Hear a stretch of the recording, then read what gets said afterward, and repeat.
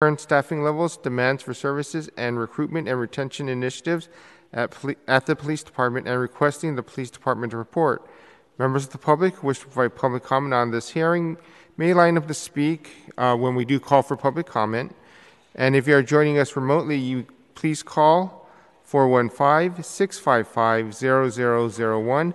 Enter the meeting ID of 2491 567 5344, then press pound and pound again. Once connected to the meeting, you will press star 3 to enter the speaker line. A system prompt will indicate you have raised your hand. Please wait until we take public comment on this item, and when the system indicates you have been unmuted, that will be your cue to begin your comment. Thank you, Mr. Clerk. And I want to note that we're joined by Supervisor Mandelman for this hearing. Thank you, who's co sponsoring it, I believe. And thank you, Supervisor Stefani, for calling for this very important and timely hearing on police staffing levels. The the floor is yours. One moment. Uh, please proceed. Thank you, supervisors, and good morning. My name is. Actually, um, before you begin, I just want to introduce um, a few comments as to why I called the hearing, if that's fine with you. Um, but thank you so much for being here. And I, ju- I just want to explain to everyone why I've asked um, the San Francisco Police Department on present to present on uh, the police staffing issues that we continue to hear about. And I want to thank Chair Mar for scheduling this hearing, and my thanks to Supervisor Safai for co-sponsoring. I called this hearing because we know in March of 2020, an independent study on police staffing levels found that the San Francisco Police Department needed to hire 330 officers to meet the demand for service at that time. And the demand of service is defined by, of course, those that are making calls into our system. Uh, since then, the need for officers has grown to over 500. It's our understanding. We hear Chief Scott uh, mention that uh, at s- several different points. And we know that it's projected to be over 700 by the end of the fiscal year. I believe that this is a crisis and dire um, situation um, when you understand how that plays out in reality and how that plays out on the streets and what that means for people who are calling for service. We can't meet the demand for service with those numbers. We can't implement necessary criminal justice reform. And we can't protect our most vulnerable residents. We just had a hearing about the hate crimes increase um, with our AAPI community. We cannot do those things with an understaffed police department. Uh, also, uh, the Chronicle has said even over the last two years, we know that crime is on the rise in some categories. Burglaries have increased by approximately 40% in San Francisco. Some neighborhoods have increased as high as 78%. I know that many neighborhoods in my district, of District 2, uh, have increased more than others. And even, you know, I've lived here for 21 years. I have a 17 year old son, I have a 12 year old daughter. Uh, anecdotally, we all feel something's different. We all hear more, we all see more. I, I've been in politics here since 2007, in constituent relations, a legislative aide for nine years, now a supervisor for five. It's different. We hear more complaints, we hear more worries, we see more struggles, and we know we need to do something. Also, we know that um, Supervisor Safai revealed in his hearing on retail theft um, that shoplifting um, continues to be out of control in San Francisco when you look at other cities. CVS has more than 150 locations in the Bay Area, and their 12 San Francisco stores account for more than 40% of the region's total losses from shoplifting. Similarly, Walgreens reported that their local stores had four times the theft, 35 times the spending on guard services, and 20 times the number of workplace threats as their stores in other cities, including New York and Chicago. We know that this is absolutely unacceptable. Our merchants and residents have a right to feel safe in their homes and neighborhoods, and we have to invest in proven practices that deter and prevent crime, and that begins with ensuring that we have a fully staffed and well trained, and I mean well trained, police force. We have the obligation to do that as elected officials in the city and county of San Francisco. We know that it's no secret that San Francisco, the San Francisco Police Department has struggled to recruit and retain sworn officers. A generation of experienced officers are in the process of retiring, and we have not been able to recruit enough to replace those who leave. And of course, we know that's for several reasons. Police staffing in San Francisco lags behind other peer cities, and I think it's very important to note this. New York has 42 officers for every 10,000 residents. Chicago has 44. Washington, D.C. has 61, and San Francisco only has 22, and that number might be even lower considering all those that are leaving. Our existing force is stretched far too thin, with almost 80% of officer time committed to responding to emergency 911 calls. The San Francisco Police Department cannot properly staff crime prevention efforts. Preventative measures that we all call for, that we all want to see in our neighborhoods, that we all want to see in our merchant corridors, like footbeat patrols, are essential to establishing visibility, building community relations, and deterring crime. Without an adequately staffed police force, preventative measures go out the door.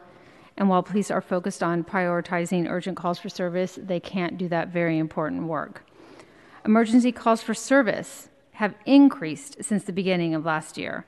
The most dangerous incidents, priority A calls, increased by 12%. Priority A calls, for those that don't know, are those are imminent threat of harm, something that is in progress or something that just occurred, and a serious risk to the public. Priority, those calls have increased by 12%. And more troubling is that because of the lack of police staffing, response times have slowed, which means San Franciscans who called 911 are waiting longer for help to arrive.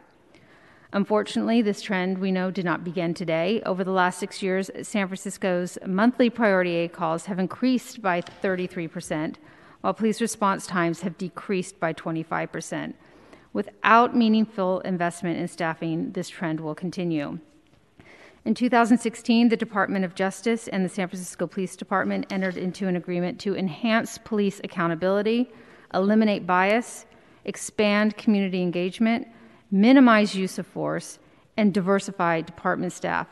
All incredibly important and absolutely necessary issues and things to do.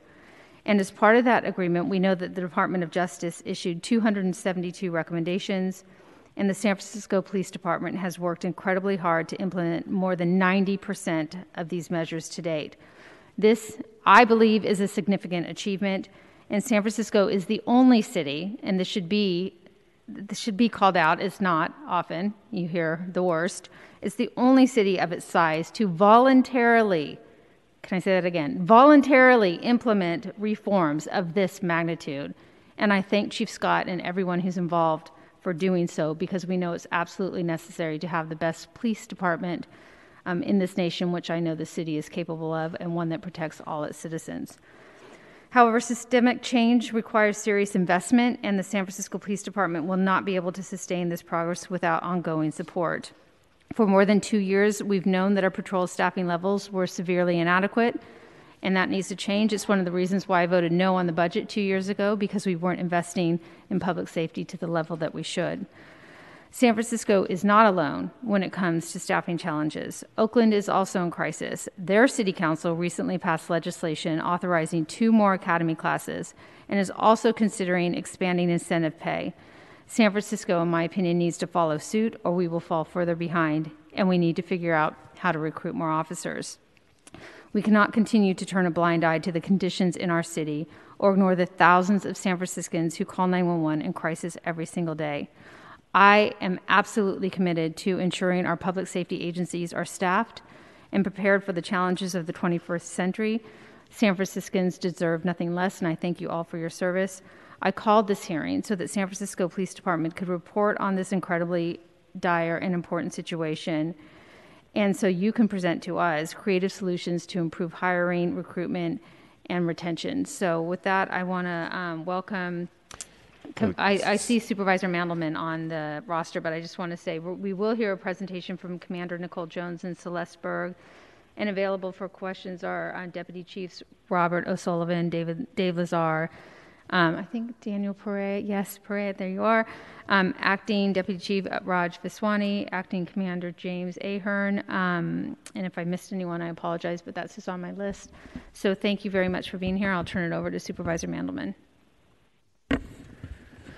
Uh, thank you, Supervisor Stefani. Um, I just want to uh, thank you for this for this hearing. Um, there is no uh, task of government that is more basic or fundamental than keeping its people and their property safe. Um, and in that regard, I am very concerned about where San Francisco is today. Um, and uh, this hearing speaks to concerns that I'm hearing from my constituents on a daily basis. Um, so I don't generally uh, just pop into my colleagues' hearings, but this was one that I thought was particularly important to be at. And um, I do think if we are not at crisis levels now, we are approaching them, and we need to act rapidly to um, attract more officers and to retain the ones we have. And so I'm interested in hearing more from the department.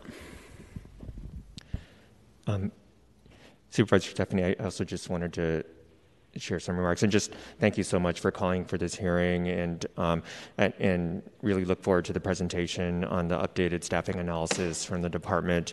And I also wanted to acknowledge um, former President, Board President Yee's work on these issues and um, and really leading to the Proposition E that, that was passed by voters, um, and um, and that that moved us to more of a, a data-based or, or data-driven um, uh, analysis and approach to police staffing.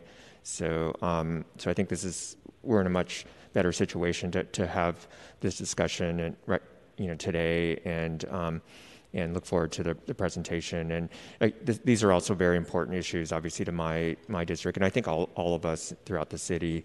Um, and we certainly hear from constituents, residents, small businesses, especially about the need for uh, the city to address um, the, the understaffing of our police department. So, thank you. Thank you, supervisors. Um, my name is Nicole Jones. I'm the commander of SFPD's Administration Bureau. Within our Administration Bureau, we have the Staffing and Deployment Unit, and I'd like to introduce Celeste Berg, who's our senior analyst for the Staffing and Deployment Unit. Her and her team were responsible for the analyses and compilation of the Proposition E staffing report, which we are going to present on today. Thank you. Great, thanks, Commander, and good morning, Chair Mar, Supervisor Stefani, Supervisor Haney, and Supervisor Mandelman. Uh, we do have a presentation, and I will wait for that to be pulled up. Great, thank you so much. Next slide, please. First, some background and context on our analysis. Thank you so much for supervisors for uh, alluding to this as well. But in 2017, the Board of Supervisors, with support from the mayor, adopted resolution number 63 17, which urged our department and the Police Commission to form a task force on strategic police staffing. And the goal of forming this task force was to determine the best methodologies for establishing SFPD staffing levels. As directed, our department did form the staffing task force in 2018, and I'll go over the membership in more detail in just a moment, but it included community members, nationally renowned police staffing experts, city partners, police commissioners, and internal stakeholders from our department as well. And in tandem, SFPD also hired outside consultant, Matrix Consulting Group, to do two things. First, to develop methodologies for establishing staffing levels for our department, and second, to actually conduct a comprehensive staffing analysis of our department. And throughout 2018 and 2019, Matrix Consulting Group conducted their analysis and met with the task force along the way to share uh, results and also to vet the methodologies that were being used throughout the study as well. And then Matrix Consulting Group released the results of their report in 2020. And I think, sorry, a little feedback Uh, there. if somebody has their telephone or listening device on, if you can go ahead and turn that off. All right, I think we're all good. Somebody has a broadcast uh, of our meeting going on in the audience. Thank you very much. All right. Um, and in March of 2020, Matrix Consulting Group released the results of their analysis two years ago. And then, of course, in November 2020, voters approved Proposition E, which mandates that our department conduct a comprehensive staffing analysis every odd year for a presentation to the Commission, the Board of Supervisors, and the Mayor's Office. And in 2021, we began conducting our analysis, and then in mid 2021, the Police Commission adopted resolution number 21 60, which prescribes the staffing analysis methodologies to be used in the report. And one thing I'll say here is that the methodologies prescribed for our analysis are the exact same as those that were used by outside consulting group Matrix in their 2020 report and vetted by the staffing task force as well.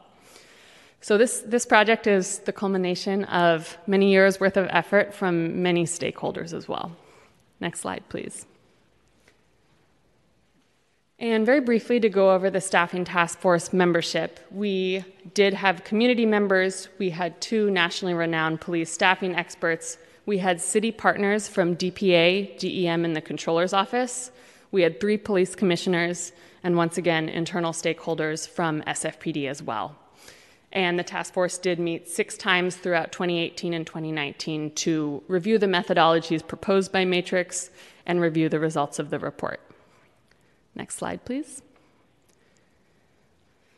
And to go into the methodologies used, first and foremost, the workload based methodology. And this analysis uses calls for service, which represents the demand for police services from the public, and a target percentage of time devoted to community engagement to determine recommended staffing levels for patrol officers. And one thing I'll say here is that this workload based methodology is the industry best practice, and it has been used in previous analyses on department staffing. So, of course, including the Matrix Consulting Group analysis in 2020. In 2018, the Controller's Office did a car sector patrol analysis and also used a calls for service workload based methodology. And the Police Executive Research Forum used a workload based methodology in 2008. And you can see on the visual here how this model works. So, first and foremost, we look at the percentage of time devoted to responding to calls for service. And here I'll say that this, is, this does not include on view incidents, this only includes calls for service in which a member of the public calls to request law enforcement assistance. The model also considers the percentage of time devoted to administrative tasks. So, this includes things such as report writing, stop data entry, body worn camera footage tagging, signing off on department bulletins, meals, gas, etc. And then the final component of the model is the, per, the target percentage of time devoted to community engagement and proactive policing. And so this includes everything from when our officers are not simply running from call to call to call. So this includes serving as a visible law enforcement presence in the community. It includes interacting with residents, merchants, visitors, youth, and also, for example, uh, implementing strategies around gun violence prevention and other issues that the city is facing. And I'll turn it over to Commander Jones just to speak a bit about the consequence of not having dedicated time for community engagement and proactive policing. Thank you. Um, supervisors, I was the captain at Ingleside Station prior to this assignment as the commander of Administration Bureau. And really, we need this time to be able to do everything else that isn't a 911 call for service and related to it in the administrative sphere. So, oftentimes, supervisors would reach out to me, and you get concerns from your constituents, our community members. We have complex problem solving efforts going on. We want to be at events. We want to be engaging with the community. And if we're moving from call to call to call to call, there is no time for that. So we're really looking to build public trust and preserve this 30% so we can do everything else. I think we've gotten to the point where the community expects it from us. We want to be able to deliver and deliver robustly. Thanks, Commander. And the last thing I'll say here is that the 30% time target devoted to proactive policing and community engagement is the exact same time target used by Matrix Consulting Group in 2020. And then the workload based methodology does take several forms. We went over the calls for service analysis because that's, of course, the, the largest portion of our department. But for example, in investigations, we also used a workload based methodology. So here we look at the number of cases and the time that it takes to work each case in order to establish recommended staffing levels for investigative units. Uh, next slide, please. And then the ratio based methodology is utilized when recommended staffing scales based on the value of another metric. So, an example here is the police organization standard for span of control, which is one sergeant to six officers to provide adequate street level supervision. And then the fixed post methodology is utilized when recommended staffing is determined based on operational coverage needs. So, an example here is the SWAT team, where positions and teams must be staffed across time of day and day of week to provide operational coverage for the department. And then finally, the non scaling methodology is utilized when recommended staffing does not correspond to workload or scale to the value of another metric.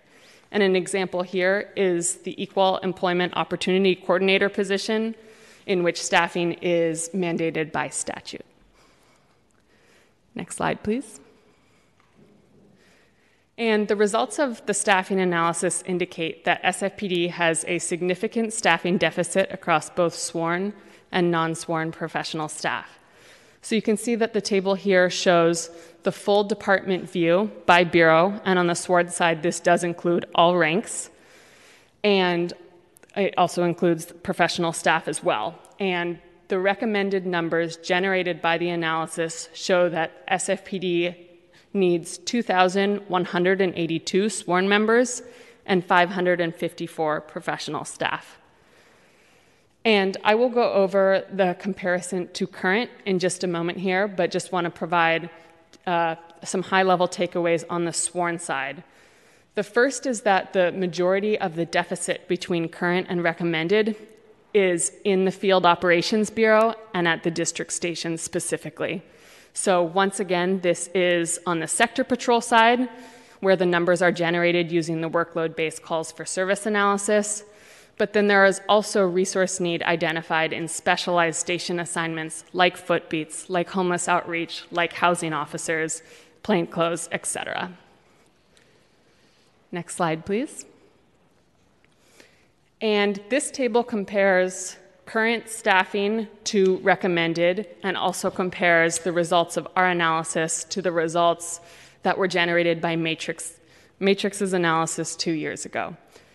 So, two important takeaways here. The first is the recommended sworn number. You can see from this table that the number generated by Matrix Consulting Group's analysis in 2020 is 2,176. Our 2021 analysis yielded the recommended sworn figure of 2,182. And the takeaway here is that these numbers are virtually identical. It's just six sworn members different, and that represents less than a third of 1%. So the finding is that our recommended sworn number is aligned with previous department studies. The second important finding is that the current sworn, the, the deficit between current sworn and recommended has increased um, first over the last two years, but also over the last six months in particular, and that's due to our declining staffing levels. And really quickly, just want to say here that the current sworn count it represents all of our sworn members, less those individuals who are on disability leave, and less academy recruits. So this is slightly different than our citywide full duty sworn number, which does take out all other all individuals who are on some sort of less than full duty status. So it will also take out individuals who are on TMD, who are on military leave, who are on family and medical leave. But this current sworn figure here only takes out DP and only takes out academy recruits. And the reasoning here is that these are longer term leaves and individuals that are um, not working and not on some sort of intermittent leave. And we'll go over our current staffing metrics in just a moment here, but just wanted to make that clarification right now. And you can see here, first, that the additional staffing required has increased over the last two years. So, when Matrix Consulting Group conducted their analysis, the additional staffing required was 265. When we conducted our analysis in September 2021 is when we started to compile our quantitative and qualitative data and actually put together the report. The deficit was 352. But even six months later, that number has grown to 459. And that's due to the fact that just in the last six months, our department has lost over 100 sworn members. And once again, we'll be going into detail on our, our current staffing and, and the themes and factors there. But the two important takeaways from this table are first, that the results of our analysis are in line with the analysis conducted two years ago, and second, the deficit has grown significantly due to the fact that our staffing levels continue to decline. Next slide, please.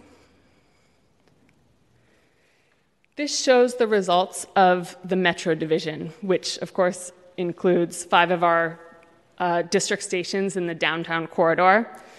The takeaway here is that 860 sworn members across all ranks are required in the Metro Division, representing a deficit of 168 officers as compared to current. And the need demonstrated is primarily in sector patrol. That's based on the workload based calls for service analysis, but as mentioned, there is also demonstrated need in specialized station assignments. Next slide, please. And this table represents all of the stations in the Golden Gate Division. And you can see here that the deficit as compared to from current and recommended is um, 101 officers. And once again, this is primarily in sector patrol based on the calls for service workload based analysis, as well as demonstrated need in specialized station assignments like footbeats, homeless outreach, and housing officers. And then I'm actually going to turn it over to Commander Jones to share her operational perspective. Of course, she was the captain of Ingleside Station prior, and so can provide some more context here on the, the need. Thank you. And one other thing I wanted to mention is that these deficits are as of September 2021. So please note that those deficits are larger now in most of these, uh, for most of these stations. But just operationally, some of the tough decisions we're having to make when I was the captain of Ingleside in the last sign up that I had to do, that's essentially shift bidding for our officers, where they decide you know what they want to work during what time of day et cetera um, and if they qualify for specialized assignments which ones they want to do um, I was unable to run a footbeat. I could not run a footbeat because I had to prioritize my officers for sector patrol. And it was the same for the homeless outreach team. I was unable to run that. And unfortunately, we're at a point now where we're making these tough decisions because we have to make sure that we have enough people responding to 911 calls. That is paramount. And everything else, unfortunately, has to take a backseat to that even though we know how important it is to you, to the community, how important it is to us. But it's just a little context for where we are at this point. Thanks, Commander. And then back to the presentation. Great. And next slide, please. And then to touch briefly on some takeaways and themes on the professional staff side. The first major theme is that SFPD has a significant need for professional staff who are trained in analytical, technical, management, and policy functions throughout the department. On the analytical side, um, there are many ways in which professional staff are, are critical to our reform efforts. So, that is as data reporting requirements increase, um, and also as we monitor and implement our ongoing CRI initiative, um, need is identified in teams such as the Business Analysis Team, the Crime Strategies Division, the Staff Services Division, et cetera. And then on the policy side, professional staff do uh, the tasks related to policy, policy issuance in many instances. So, this includes things like best practices research, running community working groups, um, writing and issuing policies, and other related tasks. And then on the technology side, of course, technology enables uh, many of, of us to do our jobs. And on the, in the technology division, need is identified uh, across the division, including the project management office, applications, architecture and operations, business intelligence, and also just generalized IT support for the department as well. And then finally, on the management side, there are many units within the department that have either a process driven component or an office management component. So, examples here are the alcohol liaison and permits unit. And then, even just a support staff position at the district stations would enable management of the captain staff and could assist with um, tasks such as helping the district station captain prepare for community meetings, um, authoring the newsletter for the station, et cetera, as well. And then the other theme is that SFPD has a need for professional staff who possess specialized skill sets. So, an example here is criminalists who we have in our forensic services division, but these individuals are non sworn, but they are trained in forensic investigation and are able to um, supplement the, department, the p- department's operations with their skill set. And then also in the theme of specialized skill sets are police service aides. And these individuals possess a classification that enables them to undertake administrative tasks that sworn staff might otherwise be tasked with. So this includes things like manning the counter at district stations, um, taking reports on lower priority calls, and other tasks, helping out with investigations um, in areas where they're able to. So these also are, are able to benefit our department through their, their classification as well. Next slide, please. And now to get into our staffing levels. So, once again, just want to provide a little clarification on that current sworn number I showed prior in comparison to this. So, we start with all sworn members in the city. Once again, these numbers that we're looking at are only sworn members in the city. Airport is not included in any of this. And so when we're looking at our, our, all our sworn members, for the current figures I showed prior, we're deducting disability leave and academy recruits. When we're looking at full duty, which is represented on the screen here, we are also deducting individuals who are on temporary modified duty, individuals who are on military leave, individuals who are on family medical leave, etc. So a whole other range of less than full duty statuses.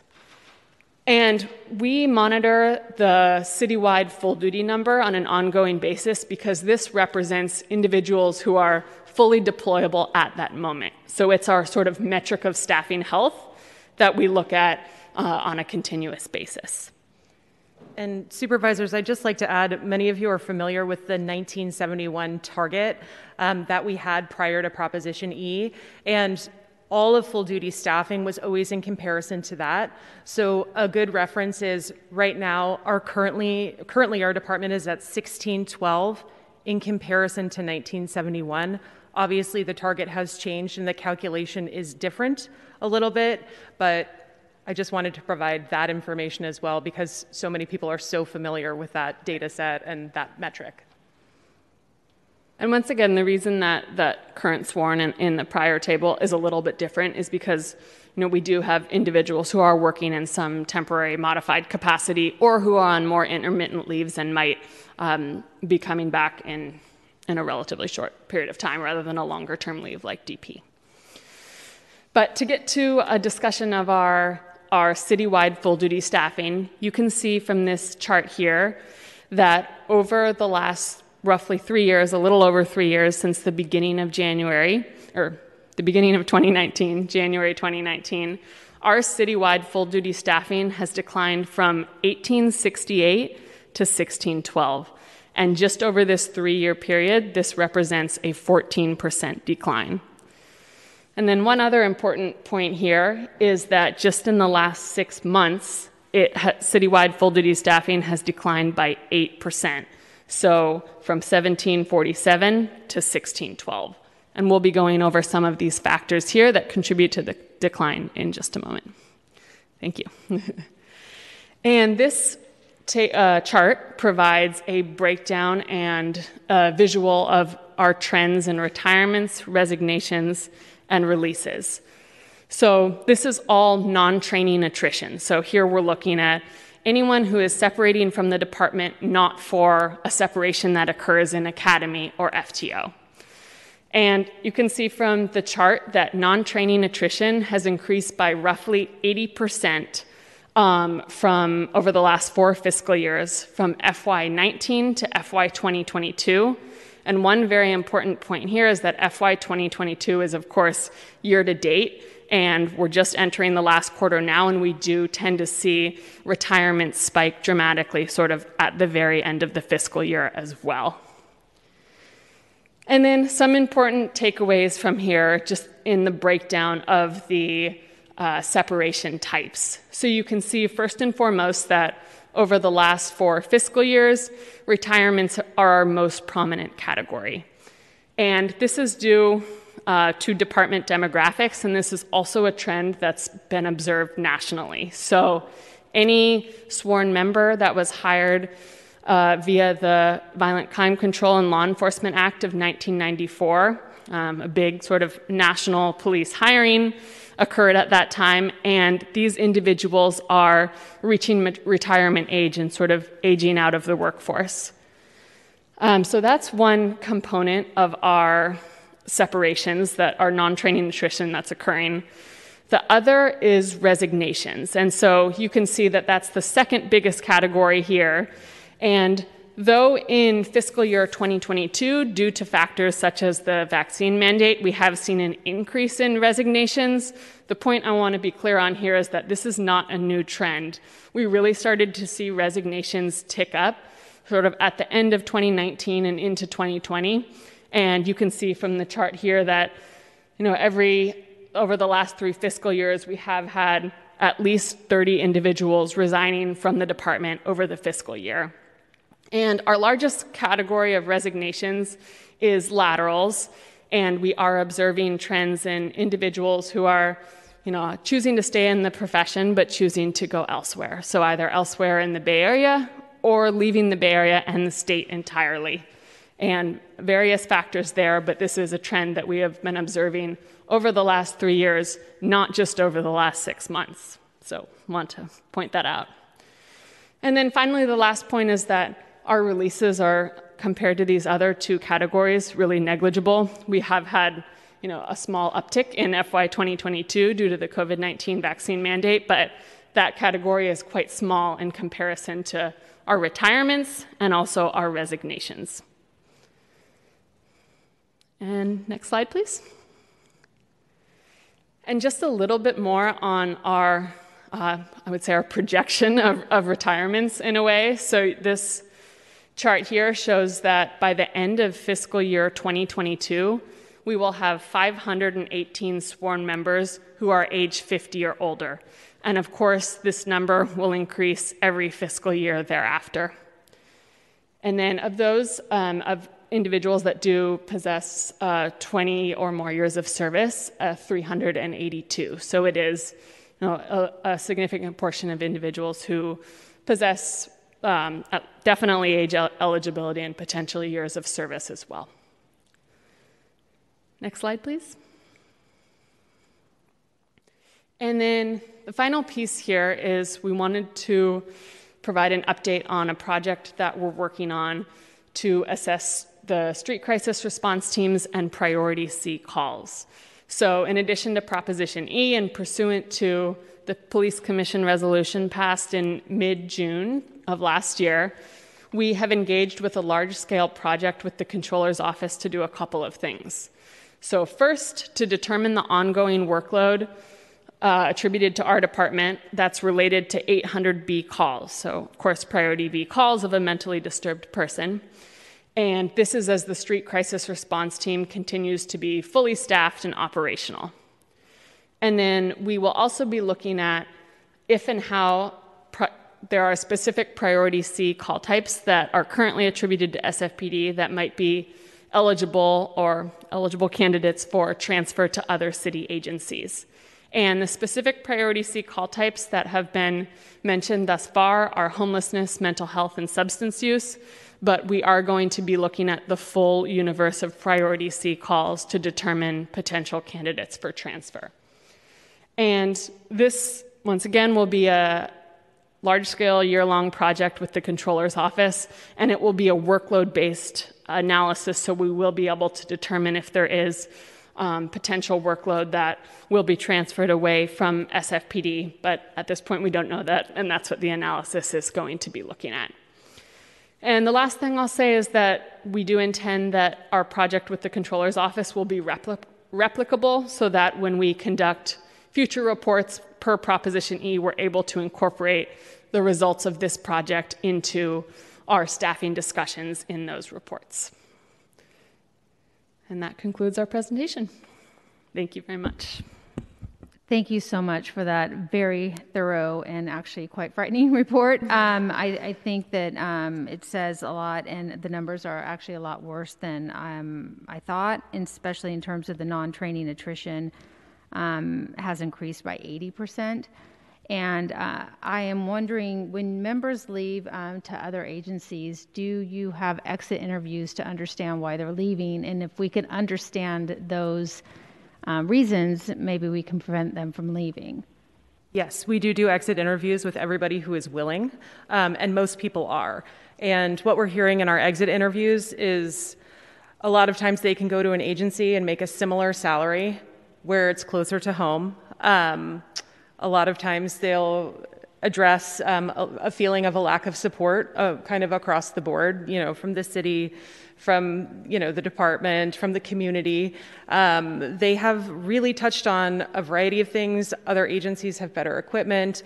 A lot of these other agencies are very competitive in seeking these candidates out. They're letting people bring their time balances over, sometimes their years of service. So there's often really good incentive for them hiring bonuses as well, you know, in the thousands and thousands of dollars um, for you know certain years that they'll stay on.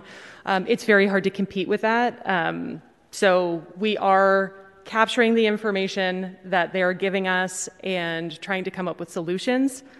And just know that we we do keep track, and we have been keeping track, not just in the last year, but probably back since like 2019 at least, where we started to see this we have a whole dashboard, you know, on where they're going and what they're telling us in their exit interviews.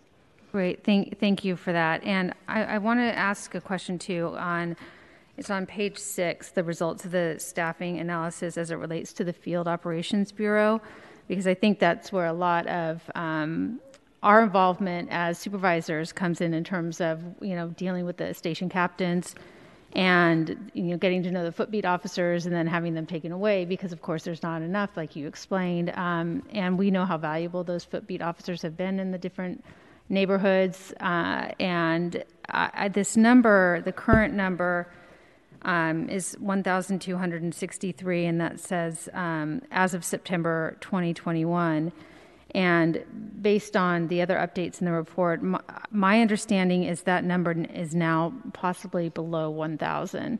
Do you have the number as it is today? Because those, of course, are the officers that are spread throughout the stations. And, you know, when I know there's something going on in the district that needs immediate attention and people are calling my cell phone because they can't get anyone at 911, and I know there's only like two patrol cars out in Richmond and they're dealing with other things, I have that knowledge it's really hard to explain that to my constituent. They just don't understand why don't you have someone to help me? And I have to explain we just don't have the officers and they're in they're in need. And when I look at this number, 1263 knowing the needs, knowing the demands for service, knowing that it's actually probably worse than even below 1,000, I think it's important for us to understand exactly how many officers we have to go throughout our district stations and whether or not it really is below 1,000. Yes, it's.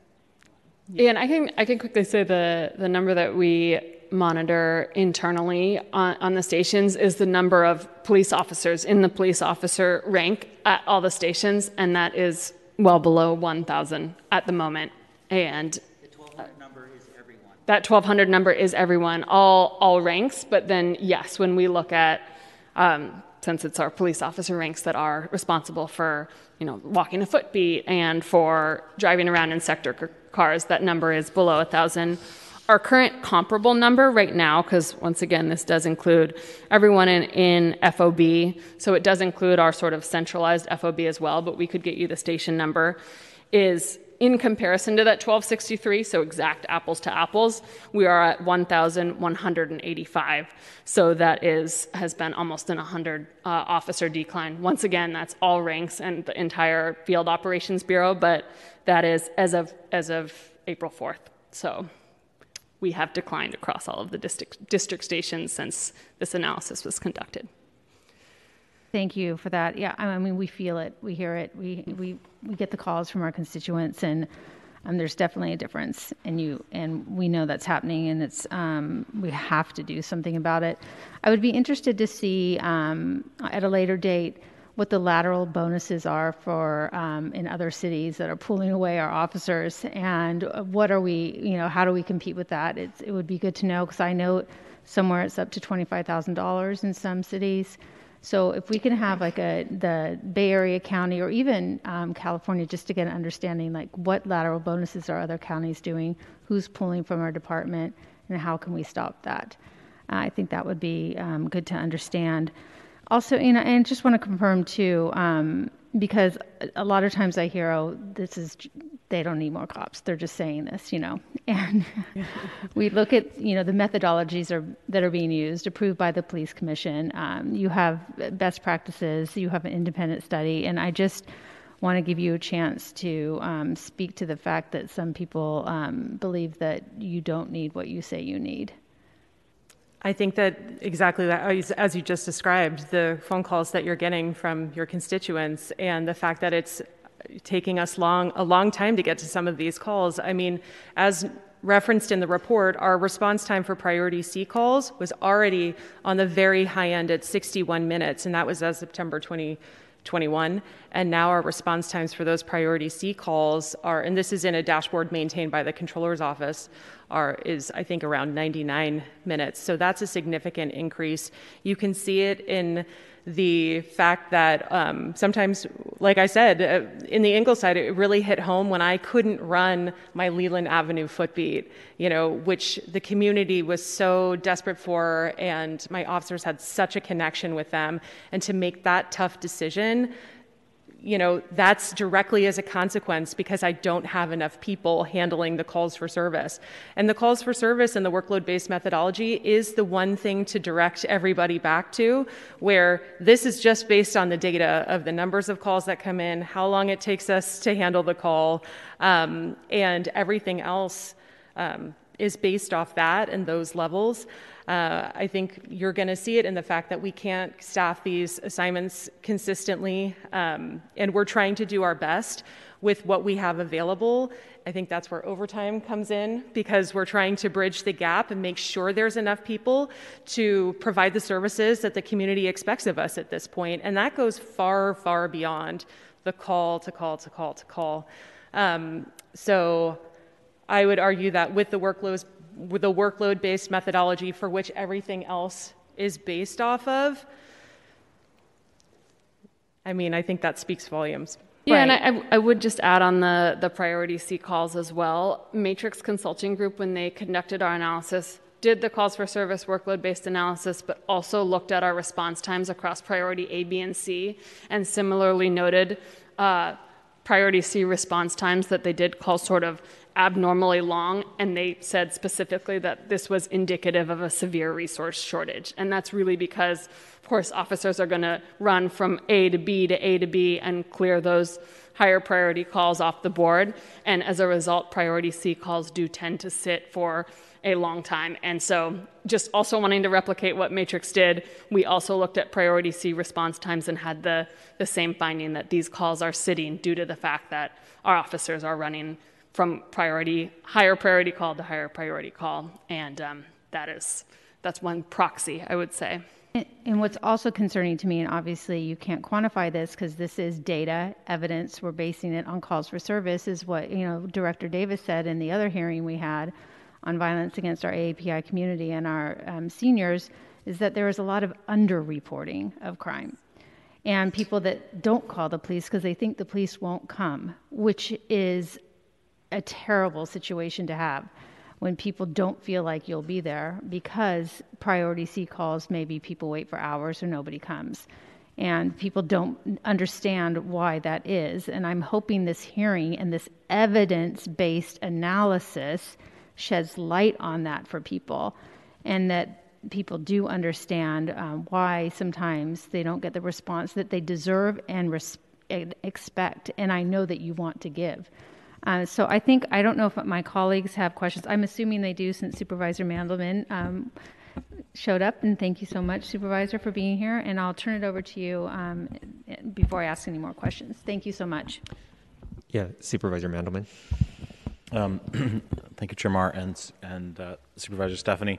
Um, I was mainly here to listen. I don't have a ton of questions, but, um, but I do have a, a few that have come up. So, um, I mean, what we've seen in terms of the numbers of where we are now, and I think it is helpful for me at least, and thank you for sort of putting this into the terms that I understood from before the pandemic and that 1977 number. I think it's just helpful to um, see that we're now, by that metric, which I am more familiar with, down um, on our way to going below uh, below 1600. Um, and it's also helpful to see how many, you know, the very large number of officers who are now who are going to be over 50 and we think will be retiring. I assume, and I might have missed a slide, but I assume that there is sort of scenario planning within the department about how that curve, where that curve lands, and kind of best case and worst case scenario. If you know things turn around, we're able to recruit, we're able to retain some people. I mean, in any event, this probably gets worse before it gets better, even if even if we are able to to do a, a stronger job of recruitment and we keep more of those officers that we're than we're anticipating now. So the rosy scenario is I don't know what it is, but it's less than 1600. Um, um, and the bad scenarios are probably a lot worse than that, right? Are you running those scenarios? Are you are you do we have a sense of what the range looks like or how bad this could get in the next few years? I think that how bad it could get is the fact that take our current staffing level And and, reduce by subtract 500. Yeah, subtract like in as in 2024 we have 700 people who are retirement eligible, and even though not all 700 would go, that's probably going to balance out with the people who are going to resign in the interim. So I think that that's a good proxy for the fact that you know, we know these people can go, not all of them will, but we also know other people who are able bodied people are choosing to do this job somewhere else in a different city and trying to account for the balance of that as well. So we can reasonably. So in my head, I have this notion that we lose about 100 officers a year, but we think that in the next couple of years that might look more like 200 or It could. Um, and generally, the attrition rate that we have given, like year over year, and kind of our standard is about 80 officers, right? So I think that it is definitely in the realm of possibility that that could double. yeah. So, so And, that oh, go ahead. Yeah. Oh, just just last thing I was going to add is yes, we. I think in the past to project, we've looked more closely at individuals who are over 50 with 20 years of service, but we are noticing a trend, and why we're only looking at sort of over age 50 and over at this point is we are noticing individuals are sort of leaving before they have service eligibility, and that is a trend that we have noticed an uptick in in just the last couple of years here. So hence why sort of our, I would say our age 50 bucket is, is what we're working with on the projection side at the moment.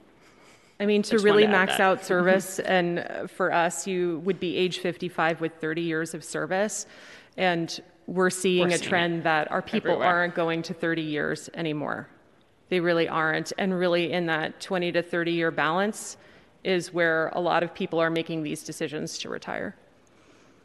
So then I am, I'm at, I mean, this is a, I am glad for this hearing, and I think it is important for people to understand that this is a big problem San Francisco is confronting and that we need to respond aggressively to address it. Um, can you talk a little bit about what an aggressive response to this problem looks like and what Abs- we need absolutely. to do to attract officers and Yes. what the strategies for that are, and how we convince some of these 51 year olds that they need to stay a few more years. Well, of course, there's incentives. and I think that this is, we have to talk about it in two ways. We have to talk about it in terms of recruitment, so getting people through the door initially to begin a career in law enforcement and or attracting lateral officers from other agencies to come to this city to do law enforcement here. So on the recruitment side and then on the retention side, maintaining those people with years of service between 3 and 20 who we have seen the trend who are leaving some things, you know, that people, obviously, there's a lot of interest in raises. I will put that, you know, uh, in terms of retention. But there are other retention tools. We're standing up a retention unit within the police department. So that's one of our asks for the budget would be support staffing wise to be able to look at this even more critically and understand all of the dynamics and have robust, uh, you know, answers. We have pretty good answers now, but we want to know everything that we can know to keep people here.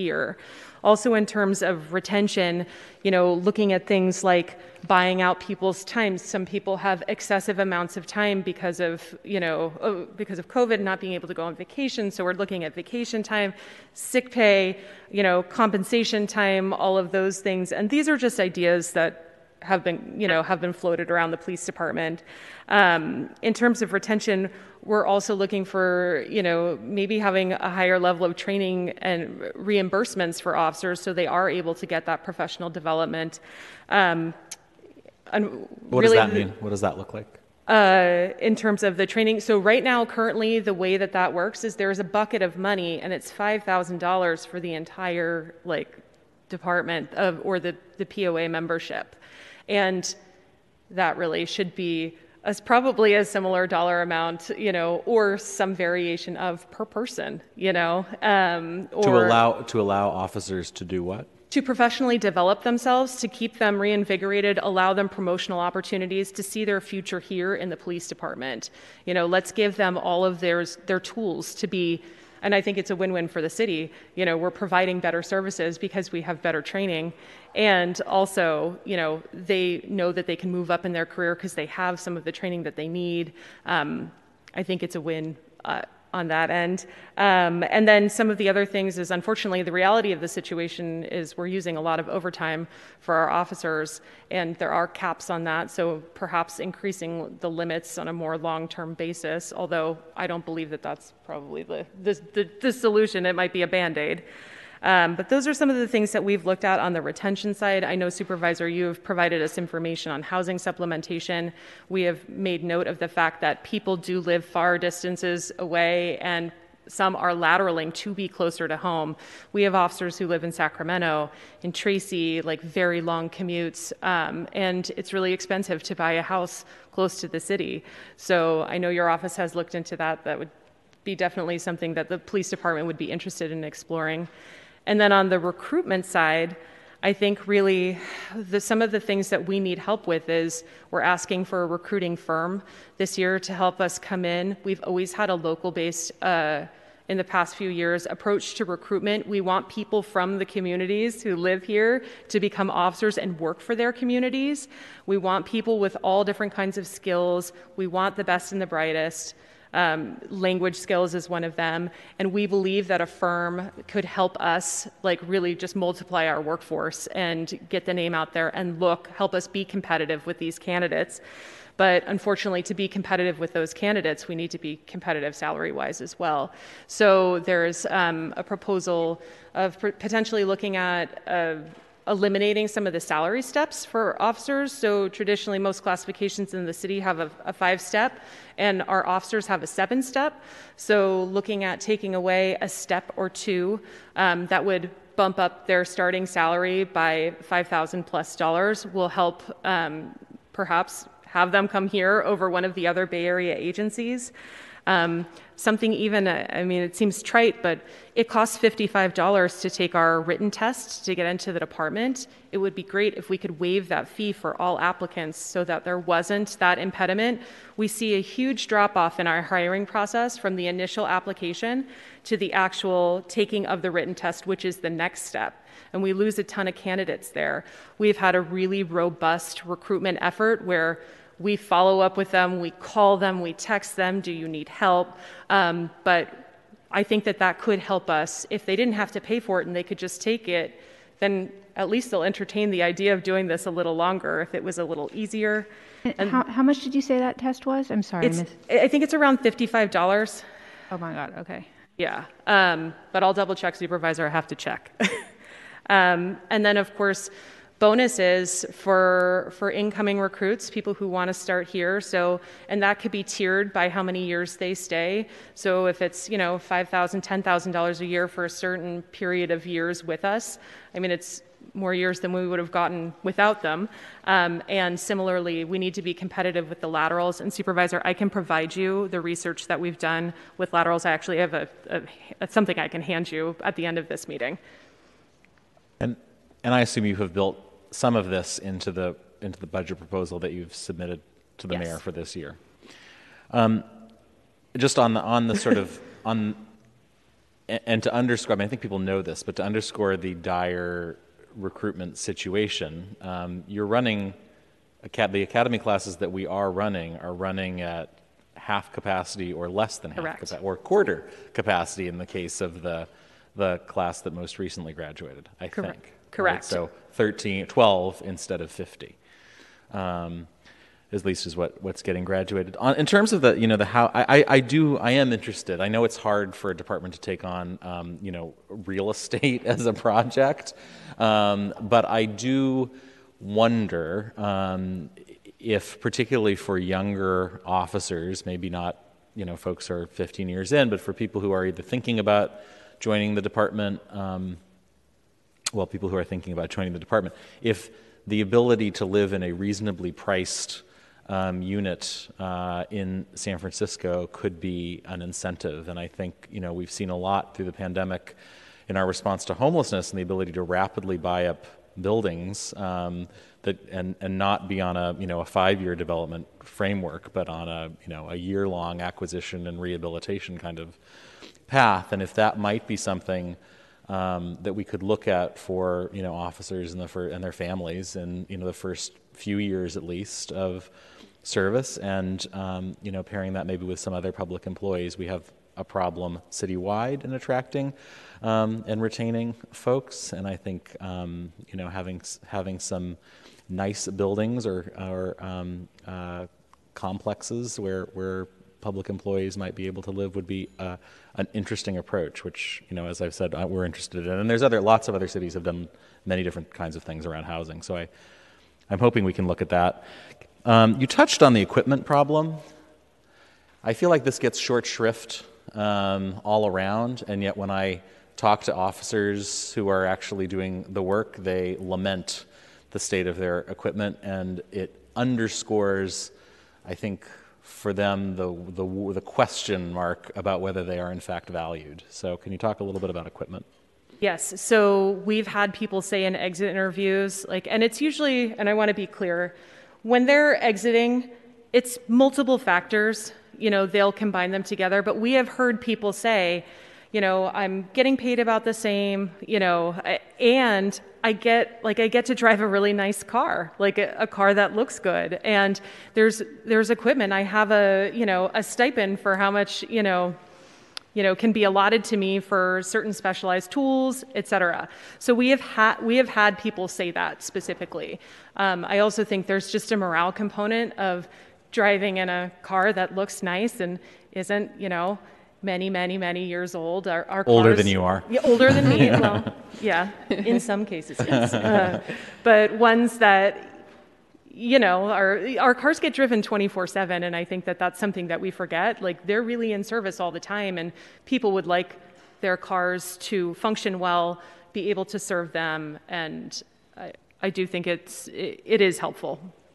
I want to um, just commend you for looking to uh, for for hiring um, a recruiter and looking beyond San Francisco. I think, you know, classically, um, you know, the the main source of recruits has been kids who grew up in San Francisco who might have family who had who had been in the department, and um, I actually experienced that with a, a couple of officers on a ride along a few you know a few weeks back. Um, but I think increasingly work, working class, as the real, the sad reality is that increasingly working class, and particularly working class people of color, um, are are getting priced out of San Francisco. And if we want to have um, a police department that looks like San Francisco, and especially looks like communities that are experiencing higher levels of policing, we may need to re- recruit beyond San Francisco. And I think you know there is a national pitch to be made that this is a path-breaking, um, groundbreaking history making department that is doing cool things. And if we can give you a, a compensation package and uh, maybe even a, a, place to land in terms of housing for the first few years that you're here, maybe it's worth making the move and being part of um, shaping what you know policing looks like in the 21st century. So. I'm hoping we can do that. I'm hoping it's a successful effort, and I want to thank you um, for your efforts, even though I miss you in Ingleside. Yeah, miss you too. thank you. Supervisor Haney. Thank you, uh, Supervisor Mar, and uh, uh, thank you uh, for the presentation, and thank you, Supervisor Stefani, for, for calling the hearing. Uh, this is obviously uh, very concerning, and it's a it's a problem that is only going to get worse based on those projections that we see there. Some of the questions that I had were, were similar to Supervisor Mandelman's, but I had a few others. Um, one is around uh, salary. H- how does uh, the salaries that we offer, either for starting or, or you know, throughout the steps, compare to other Bay Area departments? I think that um, there are definitely Bay Area departments that pay more than we do. I think, and Patrick, I think you may be able to speak to this. He's in charge of the money. Thank you, uh, Supervisor Haney. So we did look through a, um, a, a survey of all of the different police departments within the Bay Area, and in comparison to some of the other municipalities, the San Francisco is actually on average or uh, on the lower end of the scale. Part of it is the, the starting pay of the officers, and what we had, one of the recommendations that um, Commander Jones had, had suggested was to eliminate the starting two steps of uh, the, cute, the police officer salary for any new recruits coming in, and at least with that, it would bring us more along, more in parity with what some of the other jurisdictions have been offering uh, to their new recruits. Got it. Thank you. Uh, and uh, are, are, we, you mentioned different bonuses and those sort of things. Are we offering anything like that for, for our department? Currently, there are some bonuses that are identified within the, uh, the Police Officer Association MOU agreement with the city and county. However, the uh, the amounts are below what other jurisdictions have been offering. I, I, I think I, we're offering 2,000. Something like, like that. Like around 2,000, and some of these other agencies are offering 10,000, 20,000, you know. Yeah. Um, and um, when you say that, that, that, that I, I saw the, the numbers in the report around, you know, average of about 80 officers that are either retiring or moving to another department or being released.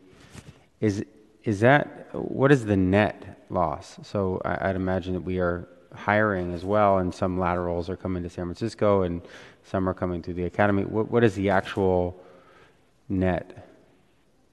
Um, so in years past, we have been able to net bodies, supervisor. So meaning that we hire, hire, are hiring more people than we are losing. But just for context, last year in 2021, we hired 41 people. And we lost far more than 41 people last year. And that 41 is just individuals entering the academy. The first phase doesn't include academy attrition or FTO attrition yeah. or through probation. And that's in comparison to 2015 when we had 265 people who we hired on the front end and we didn't lose 265 people. So, if that makes sense. So, we're netting, we're not netting anything right now in so, this moment. We're losing consistently. So, just so, so I'm clear on what you're saying there. So, in past years, we were able to make up for. It would be helpful to, to see this in, in a graph in future um, presentations because it seems like an important aspect of this. Because of course, the the loss of officers each year is is is uh, a concern and notable. Although there's some loss of officers that happens every year because of retirements and other um, you know, uh, lateral movements.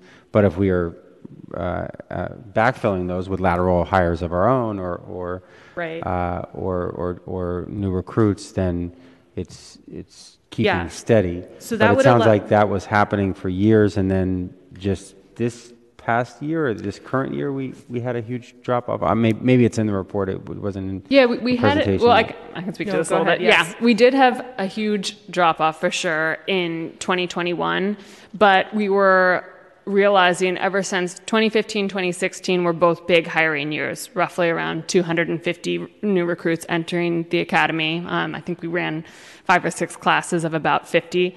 But since then, so pretty much 2017, but 2018 onward, we have seen sort of a smaller number of, so fewer classes and smaller classes uh, pretty much over the last five years, culminating with 2021, where we, yes, did hire 41 individuals. So we hired 41 individuals, but we lost probably closer to 100 plus, meaning that that brought us down 60 officers below what we were. So in order for us to maintain our staffing levels, we have to hire the same number that we are going to lose. And in order to grow, we have to hire even more. Sure. If I may just add, there's a graph within the presentation that shows the full duty staffing. That does represent kind of that, um, co- the, the combination of how many people we've been able to hire versus how many people have been leaving.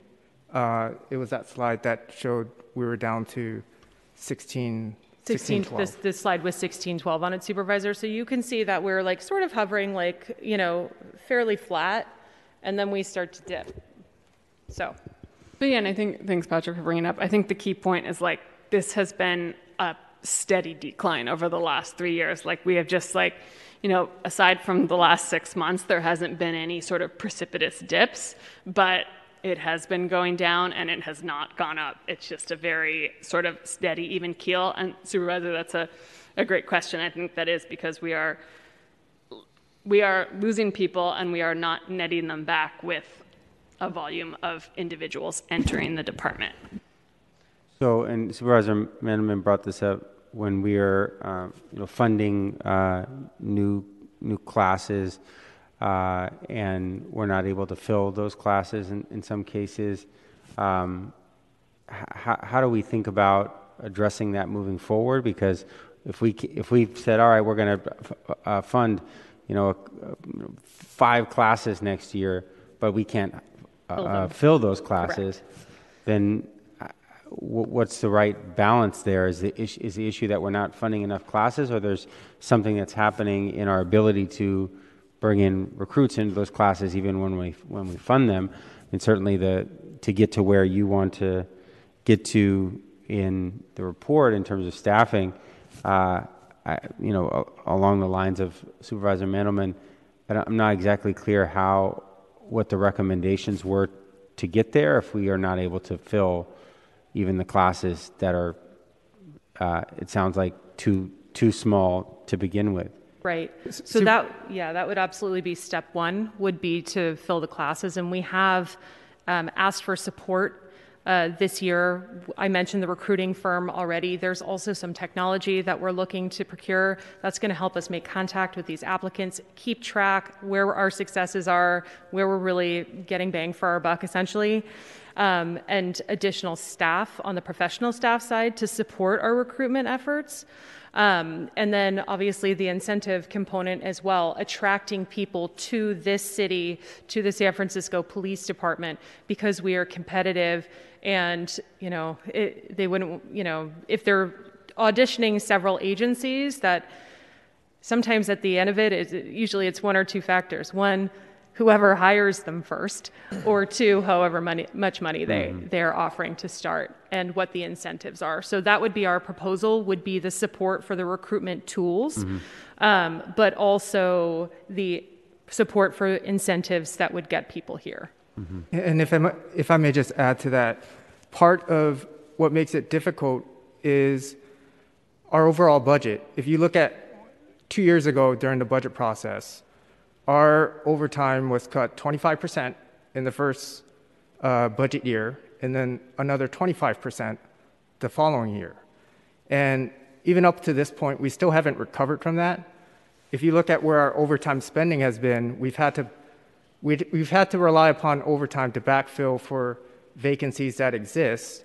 And as a consequence of that, when we run into an overtime deficit, what that translates to within the academy classes and even a lot of our hiring is that we have to either suspend or delay um, hiring, and that includes academy classes. So, to, to just to, to reiterate that point, if we run into a deficit within our overtime, what that will translate to is we're, we're going to have to balance, rebalance our budget in other ways. And one of the only options that we have is to either delay the academy classes or uh, to suspend other hiring.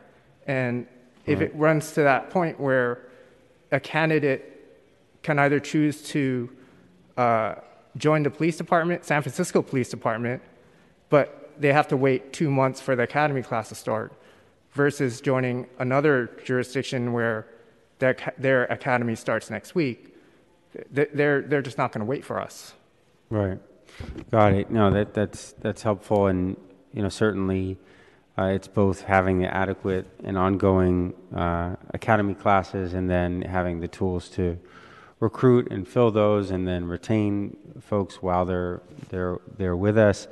Uh, and uh, again, one of the things that uh, unfortunately is unique about San Francisco, among many things, is how expensive it is to live here and to have housing here. So obviously, that's a big concern, I'm sure, uh, to be able to deal with making sure we, build enough housing and have access to work, workforce housing.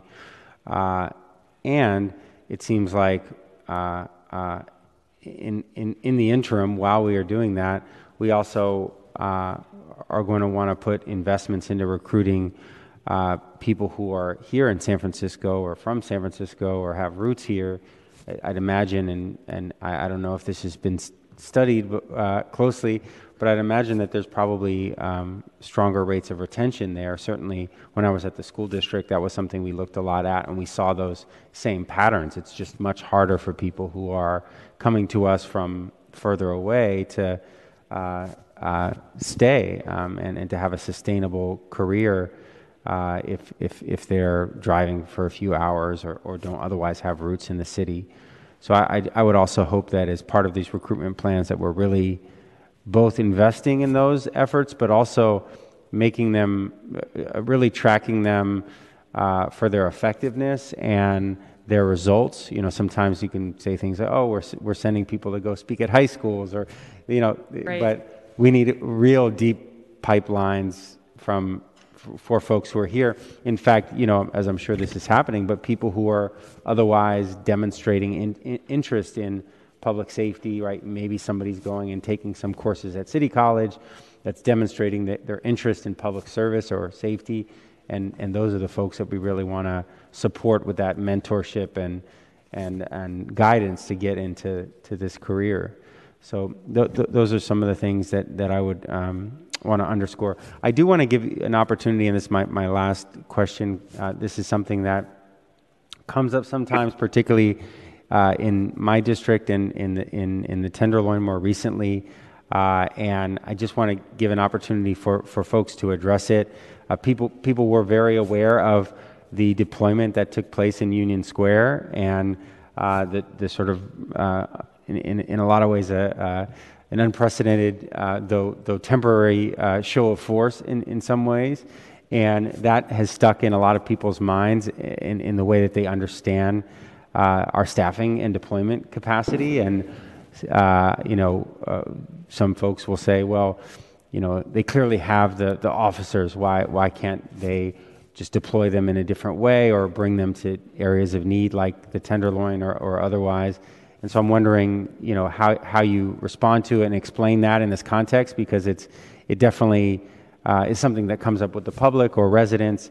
And I, I want to just give an opportunity to, to, to, to understand how something like that is possible. Clearly, dozens and dozens and dozens of officers deployed in one area for some amount of time, um, and, and, and how you kind of understand those types of deployments within the context of our staffing needs. Well, good afternoon, Supervisors. Deputy Chief David Lazar, oversee the Field Operations Bureau. I first want to start out by thanking you very much for having today's hearing. Thank you, Supervisor Stefani for your uh, leadership and initiative on this, and thank you to all of you for your comments today. In our opinion, this is one of the most important uh, topics we believe going on in the city right now is having adequate public safety and making sure that there are enough officers to make, to make sure everyone's safe. So first, I'd like to start out with you, Supervisor Haney. So as you know, on November 19th, we had a big incident occur at Louis Vuitton, uh, organized robbery that took place at several stores, including that store. And really, we had been thinking for a long time about how our Union Square, uh, unlike Times Square in New York City, was really understaffed with basically two, at, at best, four officers patrolling a large area, huge influx of, influx of tourists, um, a lot of things happening, a lot of retail crime, organized retail crime. So, based on the leadership of our mayor, our chief, and our department, we moved forward quickly to, to deploy officers to that area, as you know. That was a big lift for our department. Uh, not only monetarily was that a big lift, but one of the one of the topics that we're, we're the underlying topic that we're talking about today is really our workforce, and it was a big lift for our workforce because it was all on overtime. We were canceling people's days off. We were holding them over later. Um, it was a tremendous lift, and we recognized early that it was such a big lift that we needed to cut back, and we've cut back since then. As time has developed, we then realized that we had to, to employ the same model in the Tenderloin. And as you know, Supervisor, we've increased staffing. I know we've been public about the numbers. We've had 20 additional officers. It's actually 24 additional officers it, in the daytime and into the evening. And we've all, that complements the existing anywhere between 8 and 12 officers assigned to footbeats in the Tenderloin as it is. So that is also a big lift for our department. We are canceling days off. I think the answer to the constituents is, is that we don't have the, that staffing. Um, we're spending a lot of money on that staff. It's hard to sustain in terms of officers having their days off cancels, cancel, which affects them, it affects their families, it affects their personal lives. Um, and we see the need to make sure that we have adequate staffing in the Tenderloin so that the residents, the population, everyone there feels safe and that we're addressing uh, the things that are going on there. So I hope that answers your question. We have to do it, we need to do it, uh, but there is a cost associated with doing it, uh, both monetarily and also as it adversely affects our wor- workforce. Thank you. That, that is helpful, and and uh, it's important, you know, to, to understand the, the, ways in which it's unsustainable and it's costly. Certainly, it uh, uh, places strains, and I'm, I'm sure that the as I looked at the other stations and the needs that that that, that are, are there across the, the city, it puts some strains on that as well. Uh, I, you know, we have seen the difference in the tenderloin over the past few weeks, and, and thank thank you for that. Particularly uh, a level of staffing that allows for for some more foot beats and even um, you know um, fixed posts, which I think in the tenderloin is sort of unique in, in that regard in terms of some of the really challenging areas. Uh, so uh, certainly this is this is a, a, um, a, huge area where we're going to need to uh, provide support and leadership and innovation, you know, to meet these challenges. And uh, and thank you for, for your leadership and thank you again, colleagues, for, for your focus on, on this really important issue to protect all of our our, our residents, uh, small businesses, and visitors. Thank you. Thank you. Thank you, Supervisor Haney. Um, Supervisor Stefani, before I turn it back to you, I, d- I did have a few comments and questions of my own. And um, you know, first of all, thank, thanks again, uh, Commander Jones and everyone for this presentation, this, this really important discussion uh, with us today about um, how we can ensure that that we have adequate staffing in our police department and um, to to uh, address the public safety concerns of, of all of our neighborhoods. And um, and it's really helpful to have the updated staff analysis. So thanks for your work on that, Celeste and others. And just it's not surprising to see that the the recommended um, staffing, you know, across the um, sworn and and um, and also the the civilian positions across the bureaus is pretty similar to what what was recommended in the 2020 um, matrix study. I see the response. Uh, you said but five you know the minutes, I significant, I think, Sorry. issue, you know, from the report and, and this discussion is, is the um, the increase in in um, in resignations, you know, retirements, and, and lateral transfers, and and also it's very concerning to you know that you you highlighted that that's potentially going to increase significantly, particularly the retirements, given you know the large number of our sworn officers um, at at who are at that age, and um, and then I think the discussion has really highlighted that um, one of the not the only, but certainly the, the key um, reason for this that we're in this situation with, with such a deficit um, and growing significantly of, of our um, police force is, is the lack of um, a strategic and a comprehensive retention and recruitment plan for, for the department. And um, so I appreciate you know all the different new ideas that, that you've mentioned today, um, Commander Jones, and, and about retention and, and recruitment. Uh, and and it, you know it's really good to see that this is a top priority for the department, and it's certainly, I think, for my colleagues and I, you know, in the city, is to to be able to retain and and and recruit um, new officers to, to fill these positions. And I, I was at the the last um, Aca- police academy graduation ceremony at the Scottish Rite Temple. Supervisor Mandelman was there as well. And again, I was surprised and, and a bit shocked to see only 12, I think 12 graduates at that academy. And, um, and I think this, the presentation and discussion today kind of put that experience in, in, into a broader context about the, the staffing challenges in the department. Um, I, just to understand it a little bit better, the recruitment challenges, can you talk through um, like how we ended up with just 12 in, in that graduating, the last graduating class? Because uh, you've mentioned like even on, the statistics on hires, you, you, claim it's not just graduation, but somebody that just starts the academy is, is considered a already hired. They're considered hired, but they're not considered deployable for our numbers, so that they will never be included in that 1612 count, or you know, because they haven't made it through the training program. So a lot of it, supervisor, is that our, a lot of our candidates are not making it through the training program as well. You know, there's a lot. Um, there's a lot less interest in the profession as a whole. Um, so the people that were typically applying to be police officers are not play, applying in the same droves that they were before.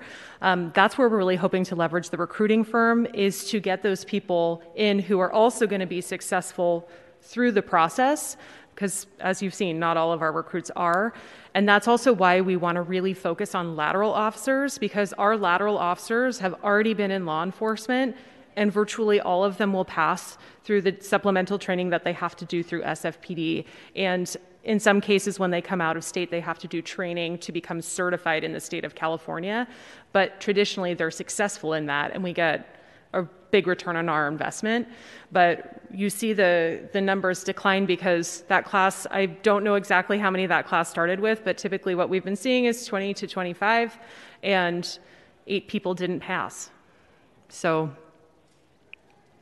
Yeah, and and just to add to there, I think you know we we will always see training and attrition, but I think the academy has been sort of targeting those specific areas where individuals are failing to pass, and I think there are several areas where we do offer sort of training above and beyond uh, the post requirements, and also specifically remediation in those areas where candidates, you know, for example, emergency driving um, might be falling short as well. So we are looking at that data to sort of combat some of the, the training attrition, but we are seeing that at the moment, and you know that, that will always be sort of a reality. But we're we're deploying strategies to to mitigate some of that. And the training is uh, like in that case of our emergency vehicle operations course. A lot of people aren't driving like they used to anymore because we have Uber and those things. But our academy staff is doing twice the required number of hours to get people up to speed because we want every single person to pass. And they're really making huge investments on mentorship, you know, bridging the gap where people in areas where people may be deficient to get them to get them to be able to meet the standards that are required for this job. Um, and that's also to speak on the front end as well. We do a ton of mentorship to get people in to help them practice for the physical requirements for this job, to help them practice the written test, the oral interview, you know, to make sure that none of the impediments, you know, we're trying to put people on equal footing, but, you know, if things, there are deficiencies that we're trying to close the gap there. Um, and that really speaks, I think, to diversity and equity as well. You know, we look at that through the lens. Um, we're examining all of our failure rates in those areas as well and making sure that there is equity for all candidates. Thank you. And um, how many? And, and, then what's what's the current plan for for new uh, the next academy or new academies this year? So we have an academy class that's um, supposed to start in June. So we will put as many people into it, supervisor, as we can get qualified candidates. Um, our hiring process is always ongoing, so um, hopefully we will get up to similar levels of where we've been for the past few, which is around 25. Obviously, that's not ideal state for us. An ideal academy is 50 plus, but that's just reality at this moment. Um, there will be one then, and then whatever academies are to come as a result of the budget. I will tell you right now, realistically, in a fiscal year, we can hire about 100 to 120 people. And I think one thing that we haven't spoken about is that this gap is not going to be closed in this year. This is going to be a multi year hiring plan, um, an investment probably beyond five years to make sure that we have enough people. Great. And you mentioned so the department has the capacity to, to hire 100 to 120, did you say 20 people per year, new, new recruits per year? What, what's the constraint on, on that? Or we have the capacity to hire more supervisor, okay. like meaning to train more. So it's really the interested applicants. Mm. It's it's the interest in it, not so much the capacity to train. We don't. We will be able to meet, you know, hopefully, you know, whatever the burden for whatever um, we would need to do in a year. But just realistically, given the rates that people are applying, I mean, I think it's really important to note that we went from th- almost 3,000 applications in 2018 to just over. I think just around 1,100 in 2021. So that's a huge decline in the number of people applying on the front end. So obviously, if we were to get droves and droves of people in, then we might need we will need additional staff to train them. But we're already operating at half capacity. We used to run academy classes to the tune of 50 plus people and multiple academy classes a year. Um, is that drop off that you mentioned in, in the applicants that it sounds like it, it might have dropped from 3,000 to 1,000? Um, yes. Is that unique to San Francisco, or is that something that, that departments are seeing in other cities? I think it's a nationwide trend of applicants dropping off. Again, it's related to interest in the profession. Yeah. Um, however, I'm not sure. We would have to look and see if our rates are exacerbated to any extent in this city, but it, it's not an, something anomalous to just San Francisco.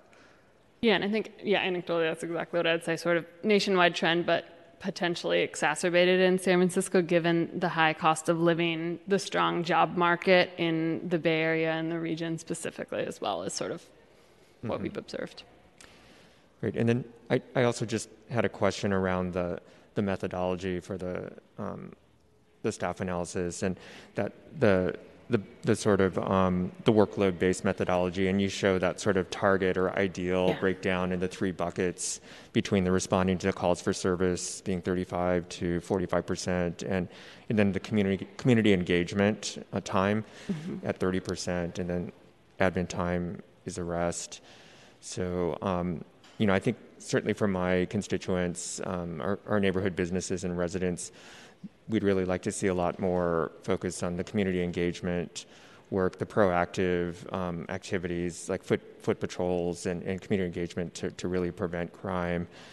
And um, so I understand that this is an ideal sort of percentage breakdown. Um, and what I was wondering if you could speak to what, what you think it's been in recent years? Um, sounds like given the, the, the, the deficit in, in sworn staff, it, most of the time spent re- responding to calls for service and, and a lot less on the community engagement, proactive crime prevention activities. Can you speak to roughly like what percentage it's been? Yeah, roughly. So this is sort of across all district stations and in the year that we did, but hovering around, and once again varies by station, but around 20%, and in some instances lower. And that's largely due to the fact that officers are spending, you know, approximately 45, 50, above 50, and you know certain times a day and days of week uh, responding to calls for service. So it has been uh, roughly around 20 percent, uh, or or in many instances a bit lower on that community engagement, proactive policing side right now. So we are off of the ideal state right now. And Supervisor, that's also exacerbated by additional administrative duties. So, you know, we have, we have body worn camera footage that needs to be downloaded. We have reports to write. We have a new supervisory um, use of force policy that's going to expand. Um, so admin time, expand the am- amount of time spent on administrative activities, training, um, all of those things contribute as well um, to collapsing that bucket for the community engagement time to a smaller number. Yeah, and one, one additional thing I'll say on the administrative time is the controller's office did a sector patrol analysis, exact same methodology in 2018, and looked at the three years prior, but really found that of sort of all of the buckets, it was actually administrative time that was increasing the most dramatically over the, the three year time period that they looked at. And you know that's that's that trend is very much still uh, present today as well. We do know that administrative time is increasing due to additional requirements and, of course, absolutely necessary things, but needs to be factored in to the time that, that officers have to devote to all of their various activities as well.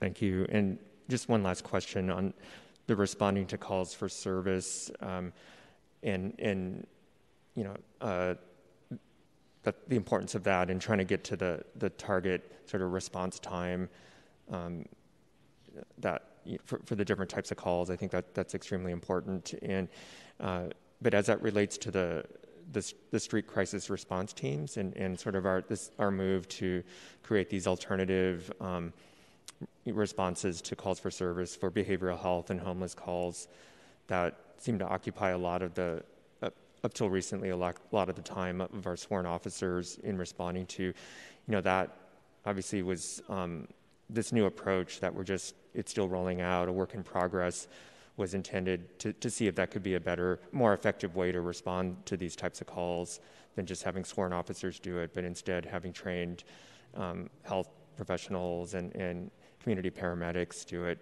uh, but it was also done i think as a way to think how we could as a way to try to free up you know our the the, the precious yes. time for our sworn much. officers so they could Yeah. Yeah, particularly do the, the, the proactive um, community engagement activities. At least that's what I w- was hoping to see. So I know, Celeste, you said that there's going to be analysis of that and, and the shift to the street crisis response team and the other street response teams and how that could lead to a reduction in, yeah, in, in sworn officer time devoted to those.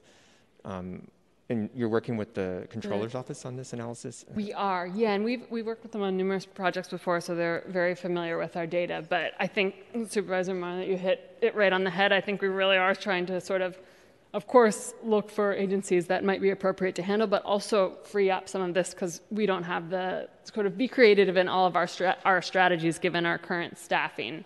And so, yes, the project that we embark on with the controller's office will be, I think it's 1,500 hours, so it's a, it's a large scale project, but we will intend to do something that's workload based, so it will actually sort of translate on the SCRT side to, to a, a potential number of staff. And, you know, of course, SCRT has been, been getting up and running the last couple of years, so now we feel like hopefully there will be a volume of data that we'll be able to analyze in order to, to generate some numbers. And then on the priority C side, we intend to look through the entire universe of priority C calls, and then what we'll work with them to do is identify just potential candidates and then potential um, other city agencies. So this will be a little bit more on the sort of recommendation side, given a survey of the priority C data.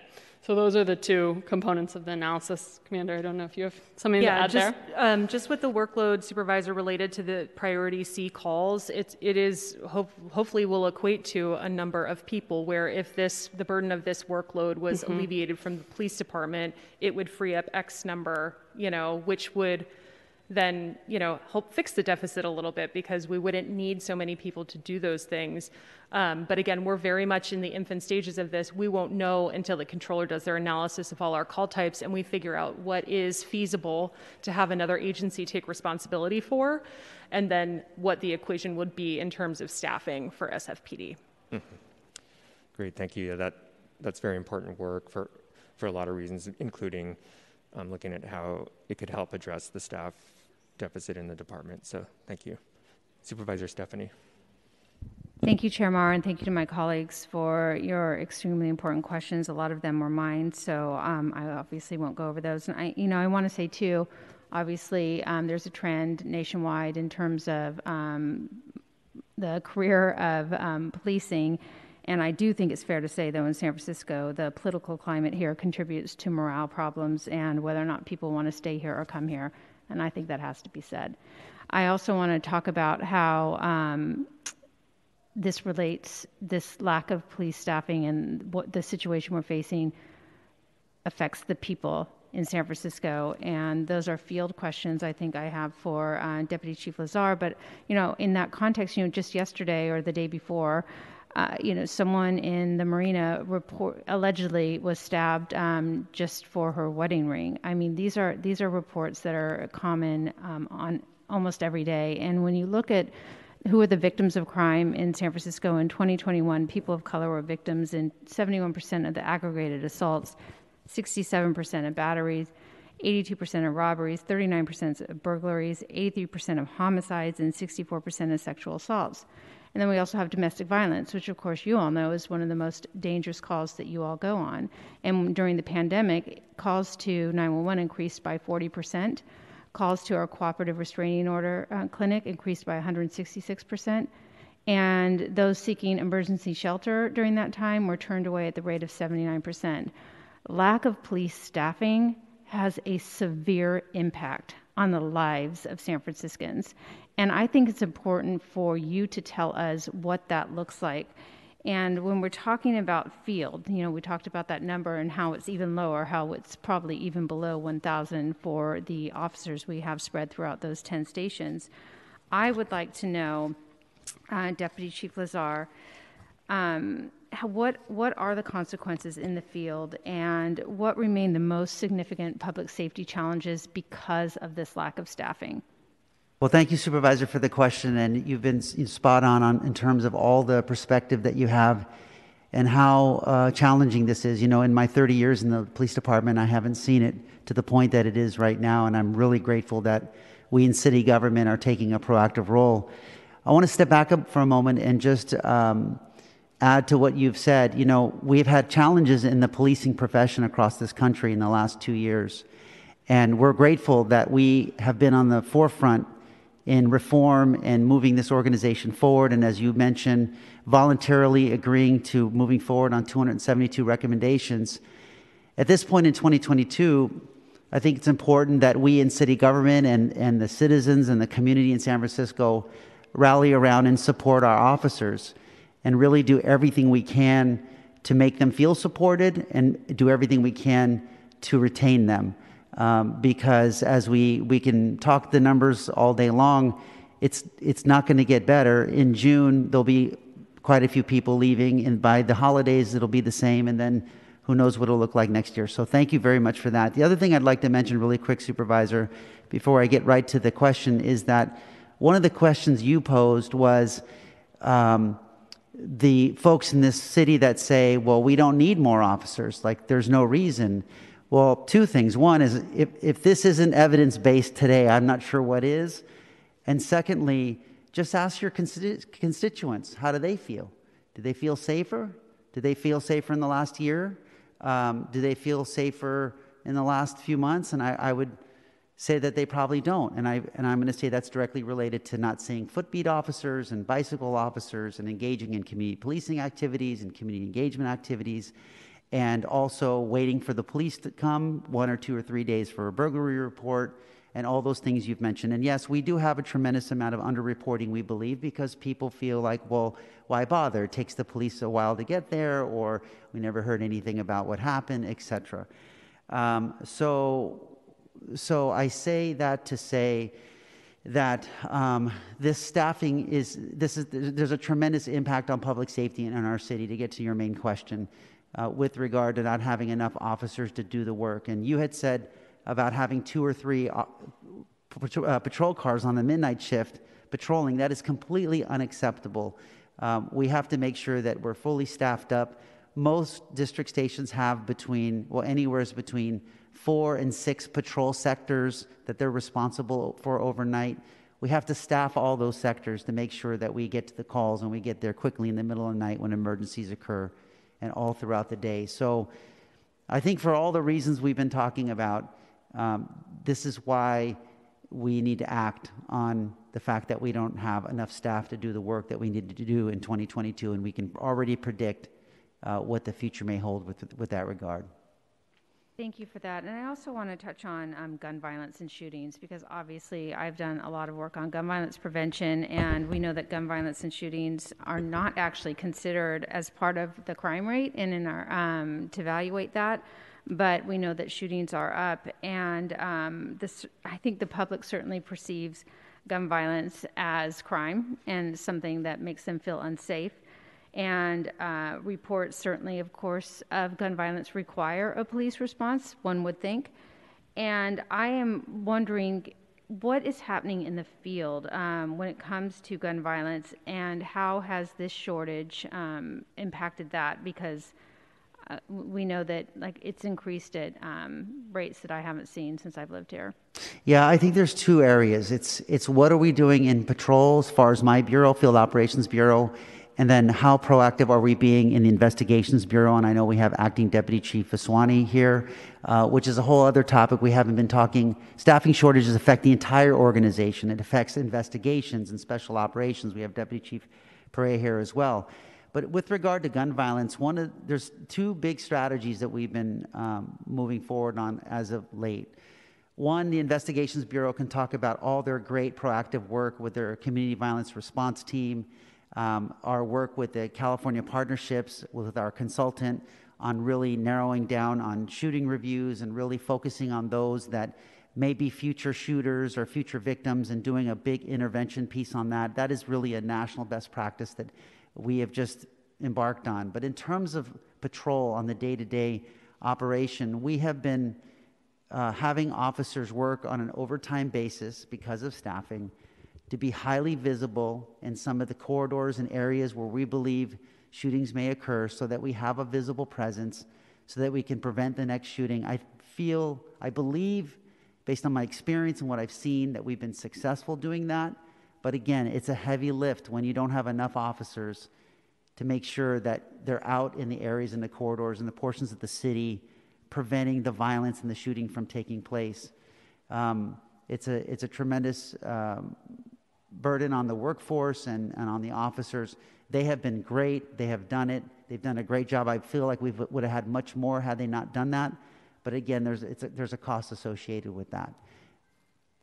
Thank you for that. And also, Supervisor Haney did ask a question that I had around, of course, our open air drug markets and um, how that is um, impacting the San Francisco Police Department and staffing and arrests. Um, so I, I, I, don't think I need to go into that any further unless you want to add anything. But um, I also want to talk about how reoffense rates, because we hear over and over again of drug dealers, um, just like it's a catch and release program, where they are, you know, if you make an arrest, how much does it even matter at this point, it seems, anyway, to the public.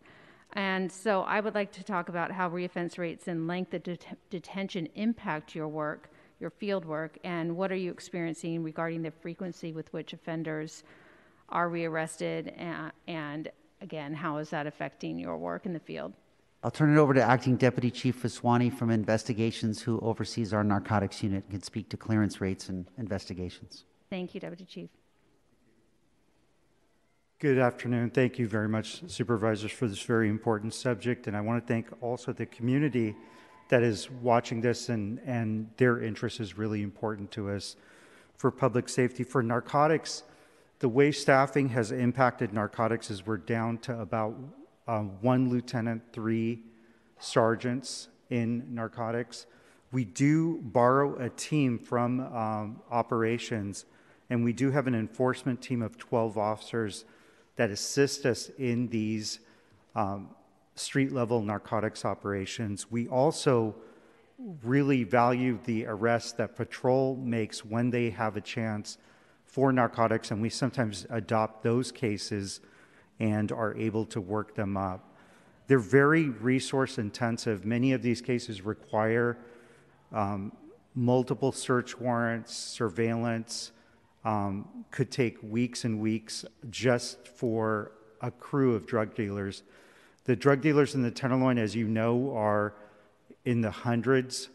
Um, the ones that we do arrest, we do petition the court to try to get stay away orders from. We see a lot of repeat offenders.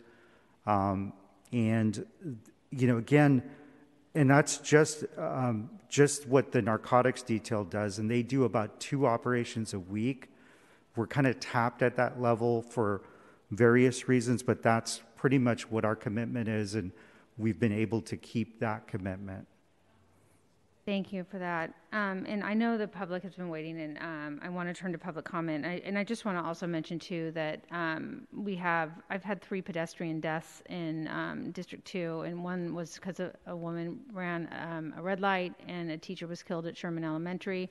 And I know the impact on um, the motorcycle unit um, is very significant. We do not have enough um, police officers to patrol as we would to meet our Vision Zero goals. And I don't know, Deputy Chief Ray, if you want to say anything about that. But, you know, when you see an increase in stunt driving, which we've seen in my district, we've seen it in Supervisor Safai's district, eh, stunt driving, the um, you know what I'm talking about. and yeah, it's just it's just the level of um, duties that you need to perform to keep us safe is somewhat astronomical when you look at all aspects of it.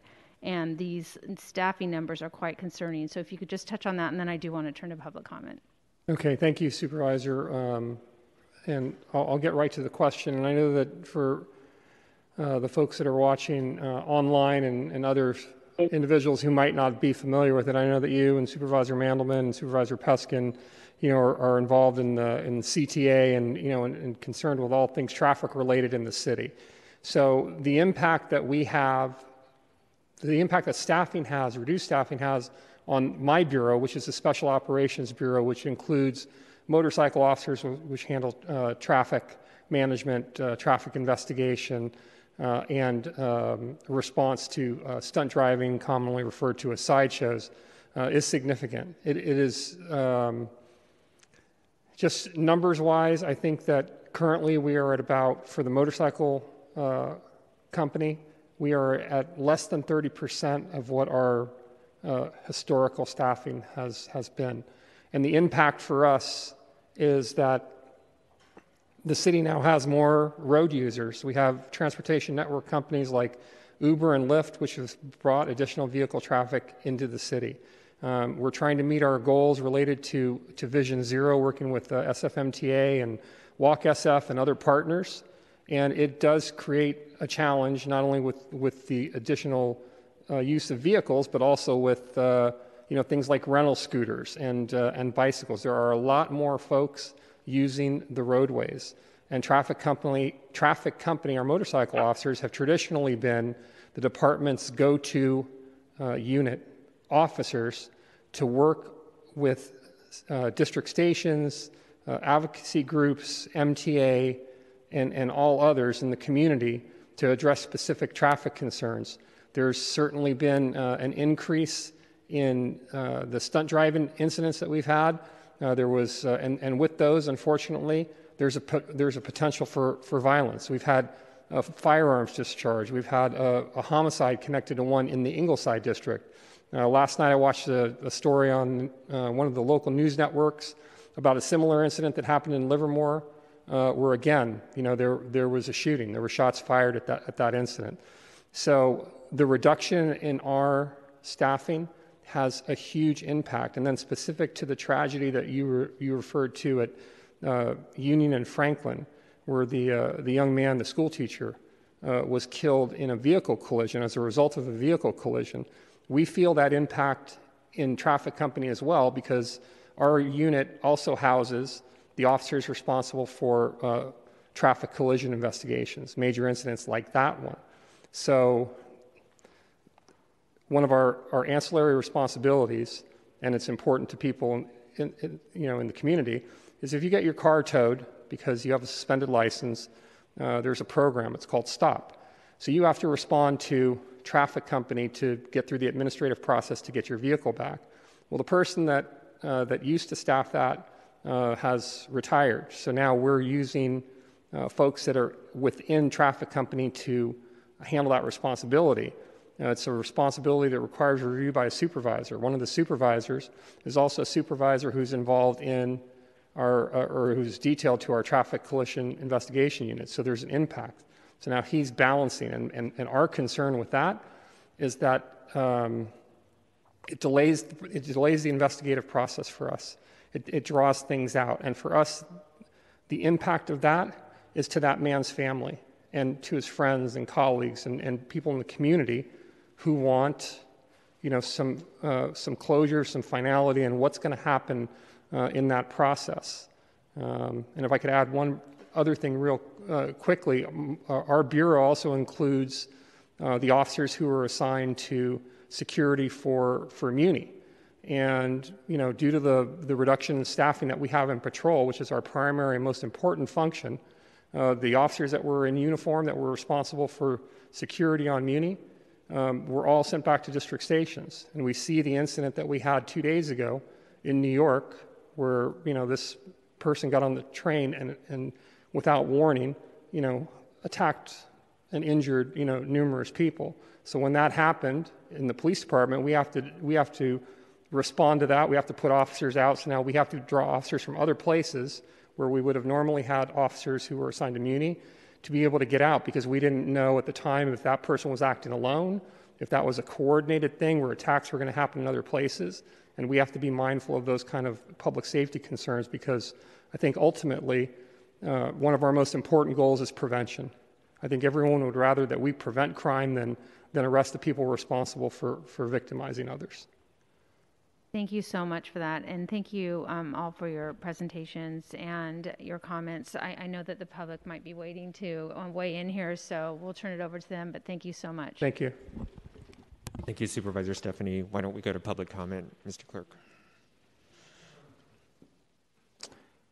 Yes. Members of the public who wish to provide uh, public comment on this matter and are joining us in person should line up to speak along the side of the room by the windows. As for those joining us remotely, please call 415 655 0001. Enter the meeting ID of 2491 567 5344. Then press pound and pound again. Once connected, press star 3 to enter the speaker line. For those already in the queue, please continue to wait until the system indicates you have been unmuted, and that will be your cue to begin your comments. We do have in person speakers in the room. Uh, you may begin your public comment. Uh, Patricia Vaughey, Marina Cow Hollow, Neighbors Emergence and Pads. Supervisor Stefani, could you please ask me a question? What are my, what are my answers to your questions to uh, Officer Lazar? You could just make your comments. Okay. Yeah. Okay. Our organization works a little bit differently than the others because we like to to get results. And first of all, thank you for giving me Captain Jackson. He's outstanding. But we found out that in our neighborhood, and it's very interesting that we have one, two, three, four, five entities of police uh, officers. We have the Presidio, we have Fort Mason, we have the Park and Rec, we have the library, and we have the Highway Patrol. And three of the five of them had new captains, and we pulled them in a room so that we could work out who had what jurisdictions. And several of the, the other entities within this city have similar problems because of tourism. Uh, it has worked they, they now know each other, they're interacting. We need, and because all of them are short of staff, they are trying to help each other out when available if they possibly can. Uh, we have another problem that happens that the poor police officers have to deal with. It's our communication system. One of the people that we had was called, there were 17 calls on her last weekend. She came up to in front of restaurants, threw her clothes off, spit on people, threw things. And then, as soon as the police showed up, then she would move to another location. We do simply do not have, and we simply do not have enough police officers to handle these. T- Speaker time has elapsed. Thank you. Next speaker, please.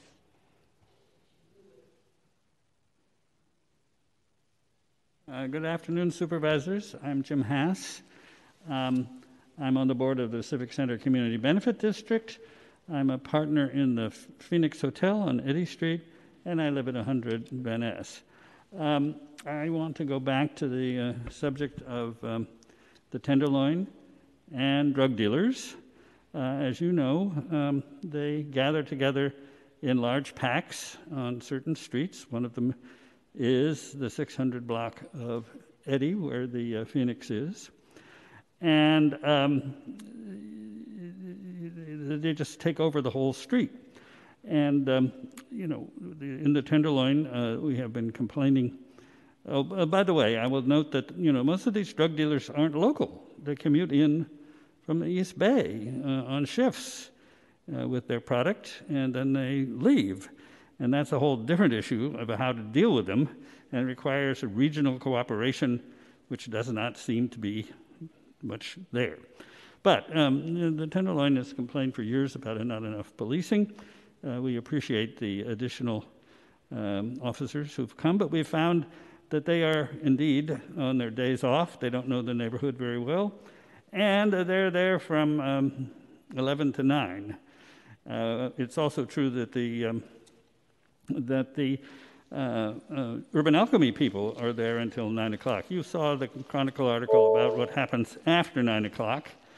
Um, and uh, the, one of the points I want to make on behalf of all of us is there doesn't seem to be any strategy. They're, you know, they're out on the street, but there does not seem to be any program to use them in an organized way, which is something that bothers a whole lot of us in the Tenderloin.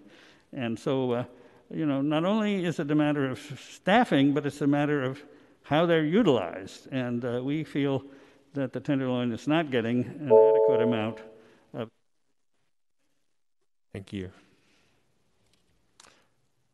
Seeing the end of in person speakers, we are checking to see if we have any remote attendees who would like to speak. If you're on the phone and have not already done so, please press star three and then wait until the system indicates you have been unmuted and that and that will be your cue to begin your comments. Uh, I'd like to also note that um, Supervisor Mandelman has been uh, appointed to serve on this committee in place of Supervisor Haney. Uh, we have 36 callers with 21, 28 in line to speak. Can we have the first remote caller, please? Good afternoon, supervisors. My name is Suzette Covell, and I am the Director of Sales and Marketing at Taj Campton Place Hotel at Union Square. I'm calling to support SFPD in securing the necessary resources to increase staffing levels and recruit new officers in order to increase safety for everyone. Protecting the SFPD budget is important to my livelihood and the fiscal viability of my company because as the director of sales and marketing, I am now spending my precious face to face time with clients, convincing them that San Francisco is still a safe and wonderful city in which to send their clients to. I can rarely even get to my goal of selling my hotel specifically. As a salesperson, I can easily move to selling another hotel in another city, state, or country. Work from home has opened up all possibilities. Let's please work together to once again bring San Francisco to its full and wonderful potential as a desirable destination where both residents and visitors can feel safe from crime. Thank you very much for all of your service to San Francisco and for your support of the SFPD.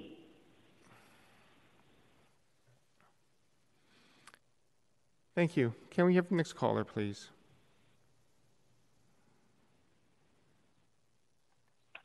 Afternoon. My name is Daryl Little Jr., and I'm representing the Bay Area Council. I'm calling in today to voice my organization's support of providing the San Francisco Police Department with the resources needed to increase their staffing levels, as the current number of officers are down by nearly 500. Thank you for your time. Thank you. Can we have the next caller?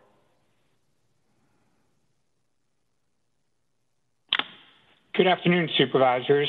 My name is Gary Cox, and I'm representing the Axiom Hotel at Parlin Market. I'm also a resident of District 6, living in Soma for the past eight plus years. I'm calling in support in, in to support the San Francisco Police Department in securing the necessary resources to increase staffing levels and recruit new officers in order to keep us all safe. Protecting these resources for the San Francisco Police Department is of vital importance to my entire team and the visitors to our city. I have personally been the victim of crime, as have been a few of my team members. I've lost several team members as a result of their fear of working in this city. This is unacceptable to me and needs to be addressed. The funding to increase the police presence in this city is absolutely necessary for us to feel safe and for the city to return to business. Please protect our works, uh, residents and visitors by supporting the resources needed for San Francisco PD to achieve full staffing levels. Thank you for listening. Thank you. Can we have the next caller, please? Good afternoon, Chair and Supervisors. Eliana Binder, Policy Associate for Glide. Each day we see the challenging realities of those suffering on our streets. Issues including skyrocketing wealth inequality, systemic racism, and the lack of shelter access, affordable housing, and mental health and substance use services are driving many of the persistent co-occurring crises in our streets. Focusing solely on criminalization and increased policing will never address the root causes. True solutions must be anchored in life affirming resources, which will also reduce the workload of police officers.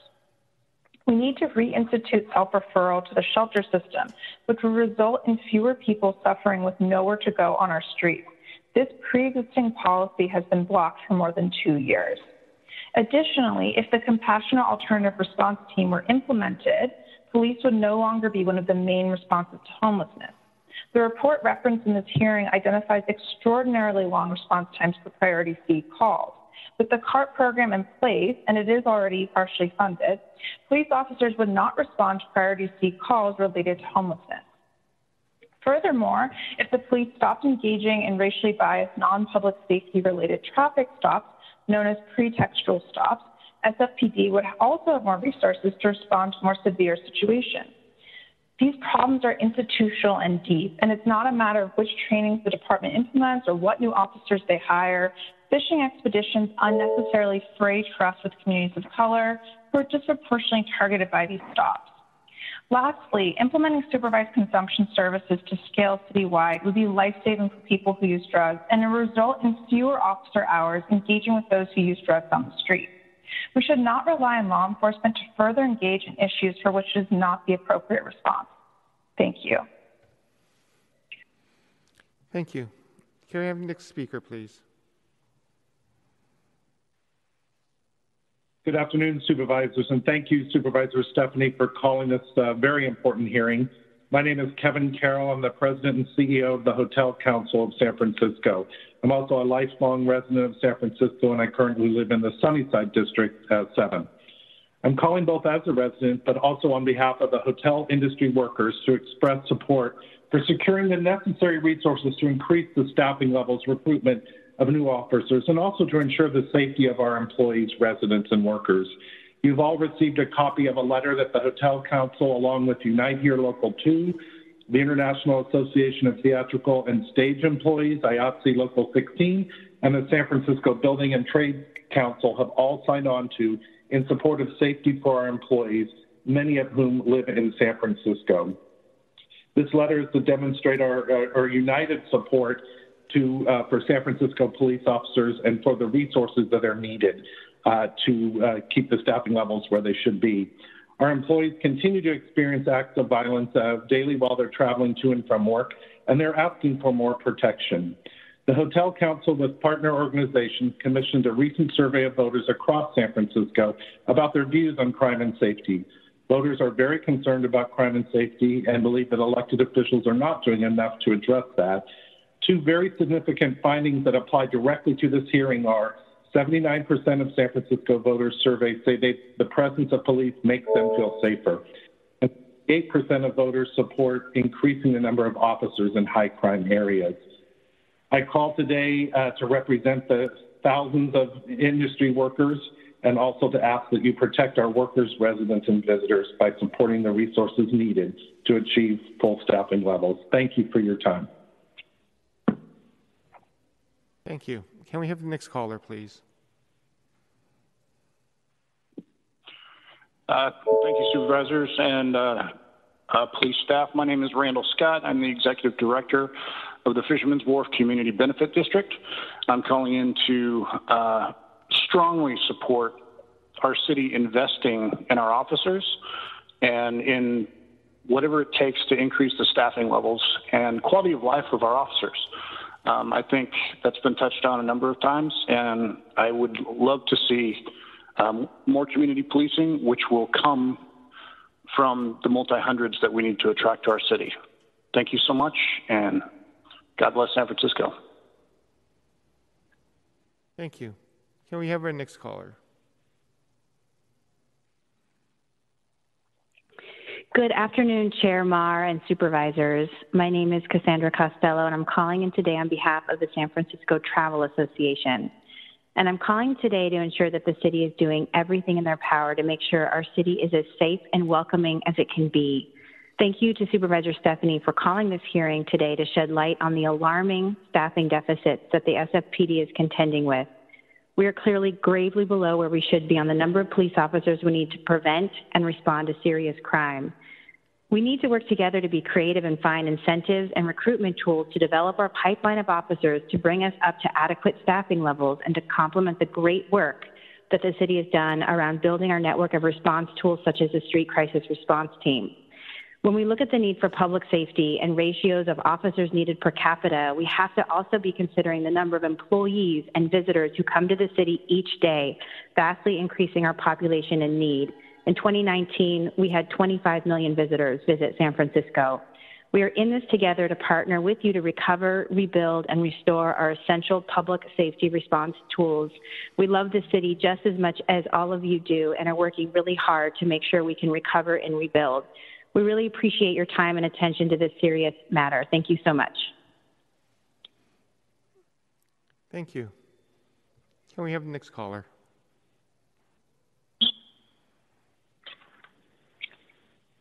Hello, supervi- hello, supervisors. My name is Joanne Desmond, and I represent the Theatrical Stage Employees IAT Local 16, one of the signatories just mentioned by uh, Mr. Carroll. Our industry has experienced an almost 100% shutdown during COVID. Our members desperately need to return to work, and we need to make sure our city is safe, clean, and inviting to attract business. Police presence is vital for workers and visitors alike to ensure all of our safety and well-being. On behalf of our 1,500 plus members, we strongly support full funding for public safety. Thank you. Thank you. Can we have our next caller? Hello, supervisors. My name is Tashona Chisholm, and I am a resident uh, here in the Tenderloin in San Francisco. I'm calling in to support SFPD in securing the resources necessary uh, to increase the staffing levels, uh, as well as the, the footbeat patrols in the area. I'm also a, uh, a hospitality professional in the security field, and I've been seeing an increase in assaults. Uh, we want to make sure that our team members and uh, our people that are visiting San Francisco feel safe. And I think with the necessary uh, tools to increase uh, the staffing levels would help SFPD out tremendously and increase the safety for visitors and help bring our city back. Thank you all for taking the time out to listen. Thank you. Can we have our next caller, please?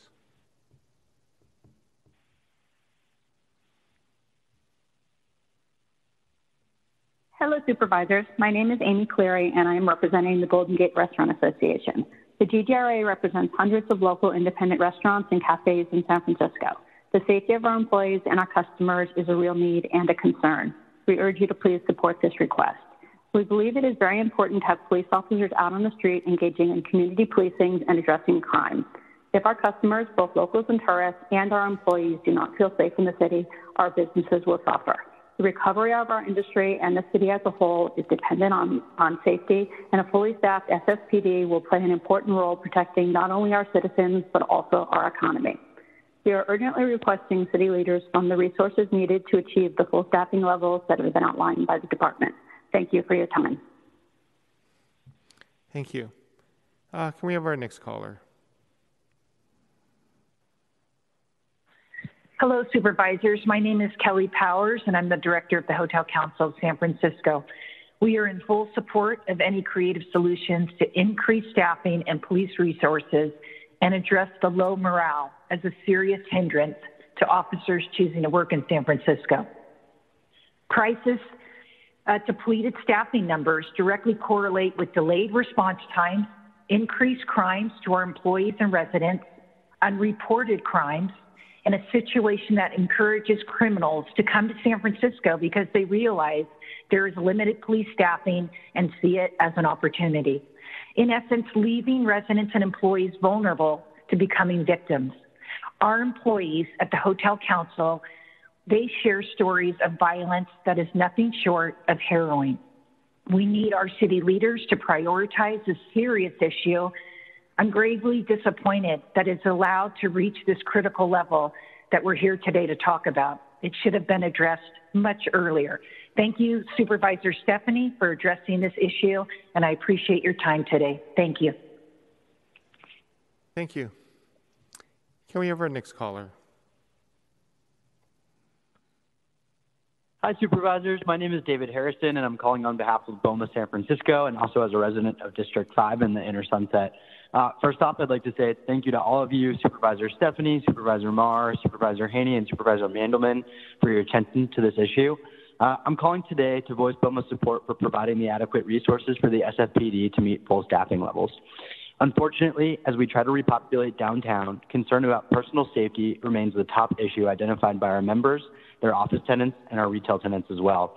With so many additional challenges to this effort, it's critical that we do everything we can to ensure that our residents, our office workers, our retailers, and our visitors feel safe. Recognizing the current challenge and potential for them to get much worse, we're supportive of making the appropriate uh, budget uh, budget assessments to address this challenging issue. We respectfully request that come budget season, we provide SFPD with the resources needed to recruit and retain new officers. Thank you. Thank you. Can we have our next caller?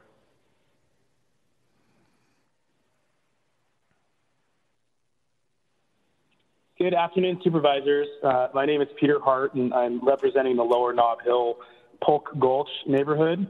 Uh, this is my first time calling into the hearing, and I'm calling with my full support for the SFPD to secure resources to keep our residents and visitors safe. Uh, I've lived in San Francisco for over 15 years, and frankly, I've never felt as unsafe as I do today. Over the last two years, my car's been broken into twice. I've had numerous theft incidents at my residence um, in fact, my building garage was robbed recently, and my neighbors didn't even call to make a report. And they didn't because previous incidents, no one uh, seems to come. It takes hours, um, and there just isn't the deployment that's needed. I recently returned to the office and walked to Union Square regularly. Um, frankly, the walks become brutal. Uh, you're accosted by transients every day. Our streets aren't safe. Our police need help please fund the resources needed to achieve the outlined full staffing levels and equipment needed. Thank you. Thank you. Can we have our next caller, please? Hello, supervisors. My name is Terry Lewis, and I'm the complex general manager of the Hilton Union Square and the Park 55 Hotel. I'm a resident of San Francisco, and I live in District 3. Above all things, the safety of my 1,000 plus employees, the residents of San Francisco, and our visitors is of utmost importance. Accordingly, I'm asking this committee to support the resources needed for our SFPD to achieve full staffing levels that have been outlined for the department. COVID 19 has had an outsized impact on all of us over the past few years, and I hope we finally turned a corner with this pandemic.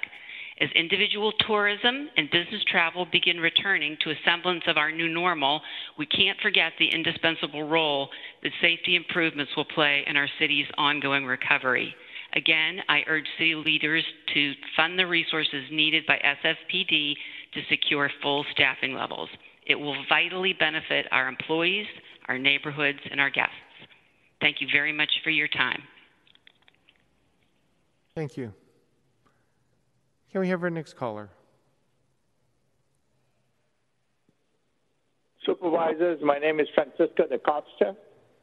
Yesterday, I addressed this issue at the police commission. The police commissioners were astounded by what they heard. This presentation that was given today muddies the waters. We, we should all know that the strength of our police force should be over 2,000 and is about 1,100. And so this 1,600 figure or 1,500 figure is a lie. Now, we have to address this situation on a war footing. I happen to know all the officers who are sitting there in room 250. They know me very well. We need to address this situation on a war footing. The supervisors have left us, let us down. The mayor has let us down. The controller has let us down. Who is suffering are the constituents, the taxpayers. They are suffering every single day. Assaulted, car break-in, home break-ins. This nonsense must stop. We need a plan on a war footing. An emergency, maybe, for the whole city. Thank you very much. Thank you. Can I have our next caller?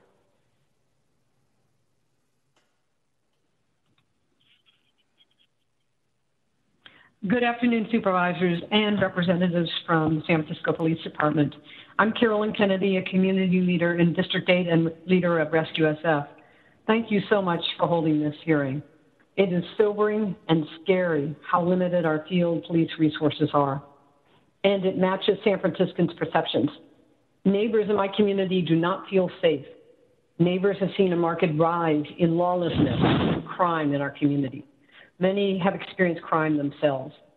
I urge SFPD to increase its patrol force. I support investments to recruit and retain officers. The labor market is much more competitive. Offering a package that incoming officers really value is critical. And Commander Jones is right. This is a five plus year effort. During the budget process, please advocate for and fund the hiring of more, more officers and a more competitive recruitment and compensation package. Thank you for holding this hearing and for listening to my comment. Thank you. Uh, next caller, please. Hi, my name is William Jake, resident District 8.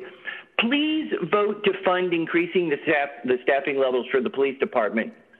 Break ins, assaults, robberies, property theft, vandalism, hate crimes, drugs, shootings, all commonplace these days. Everybody knows that San Francisco is not safe anymore. There's more trouble than ever, and people disrupting our city know they probably aren't going to get caught.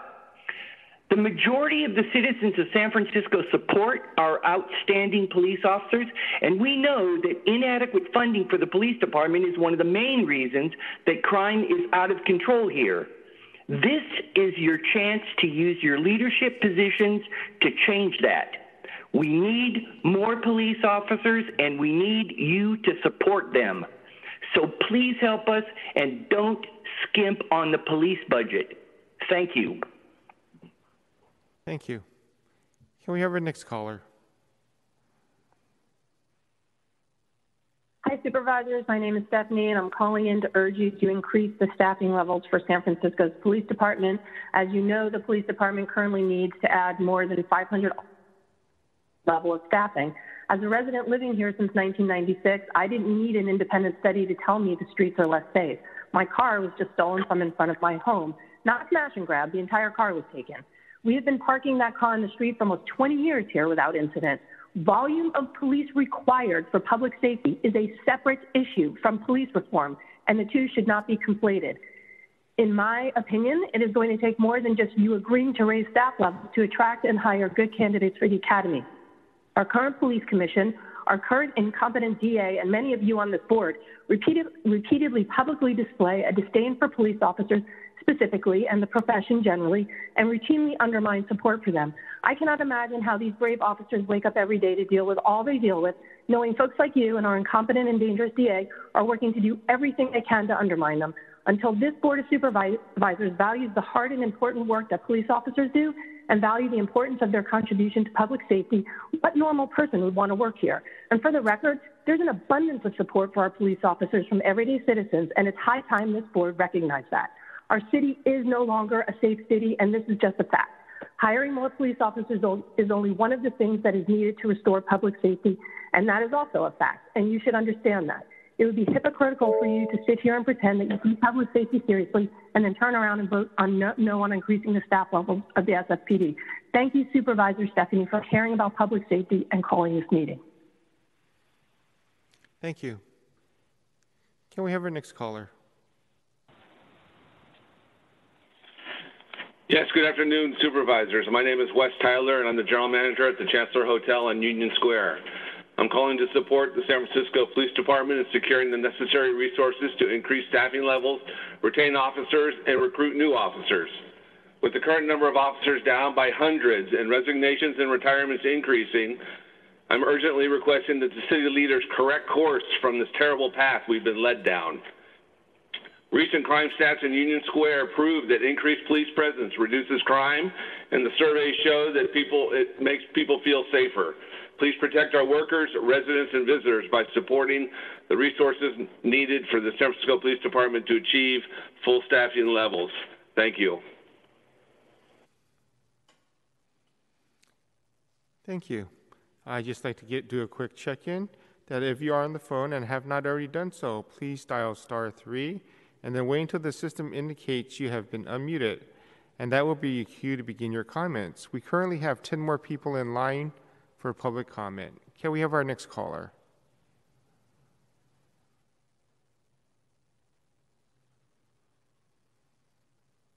Hello, supervisors. My name is Caitlin Fear, and I'm a resident of District 3 Nob Hill, and this is my first time calling in.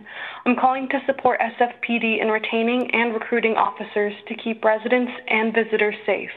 I would like to feel comfortable visiting any neighborhood to support local businesses where I currently do not, out of fear of harassment or worse. I've been chased outside of my own place of employment by a woman not in her right state of mind. I have been spat on and urinated on. I've had food and used needles thrown at me, and I've had my car broken into, all in broad daylight. I have been verbally accosted and witnessed open air drug use too many times to count. I firmly believe SFPD should not have to prioritize the crimes they respond to out of a lack of staffing and resource shortage. Please protect the people of San Francisco by supporting resources for SFPD. Thank you for your time. Thank you. Can we have our next caller? Good afternoon. My name is Katie Liddell, and I have been a San Francisco resident of District 6 since 1995.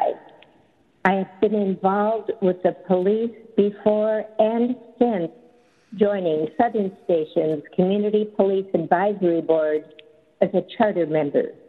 I have seen and heard firsthand what our officers deal with and how they react. They are a great force, but we need to grow that force and we need to better support the staff that we have. My neighbors and I will feel safer with more officers to protect us. Please increase funding so that more officers can be hired. Please make San Francisco a safer city. Thank you. Thank you. Can we have our next caller?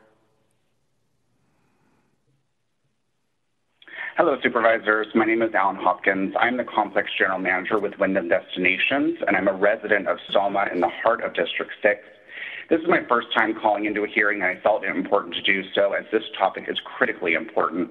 I'm calling to fully support the San Francisco PD in securing the necessary resources to uh, increase staffing levels, recruit and recruit new officers in order to keep us all safe. Protecting the SFPD budget is important to me because I care about my team members. I care about my family that all live here in the heart of San Francisco. I have personally seen too many crimes happen, including break-ins into my own home building. I've seen car smash and grab robberies happen in the middle of the day to my hotel guests. I know, and I know too many people that are fearful walking on our city streets. It is critical for the recovery of our city that both residents and visitors in our city feel safe, and a fully staffed police department is critical to make this happen. Please protect our workers, residents, and visitors by supporting the resources needed for the SFPD to achieve full staffing levels. Thank you so much for your time. Thank you. Can we have our next caller, please? Hello, my name is Scott Matheson. I'm a resident of the Mission. I've closely followed the staffing situation at, F, at SFPD since 2017. I've spoke with many officers about their futures and also looked closely at SFPD data. Here are factors you should consider when it comes to SFPD staffing and the budget. Number one, in 2016, the city's target meeting response time for A priority calls for service was four minutes. Today, in 2022, the target is now set as an eight minute median response time. We've successfully doubled to eight minutes the time it takes SFPD to respond to the most urgent requests. If armed gunmen just kicked in your front door at night and were assaulting your family, half of the time, SFPD is insufficiently staffed and will not be able to get there in under eight minutes. That prospect is terrifying. Number two, SFPD is losing through lateral transfers, retirements, mandates, officers leaving, law enforcement altogether, one officer per day. That is what it was just this past month. I've heard over 300 officers are considering retirement in July. Combined with current officer shortages, the department could be over 800 officers below recommended staffing levels by July 1.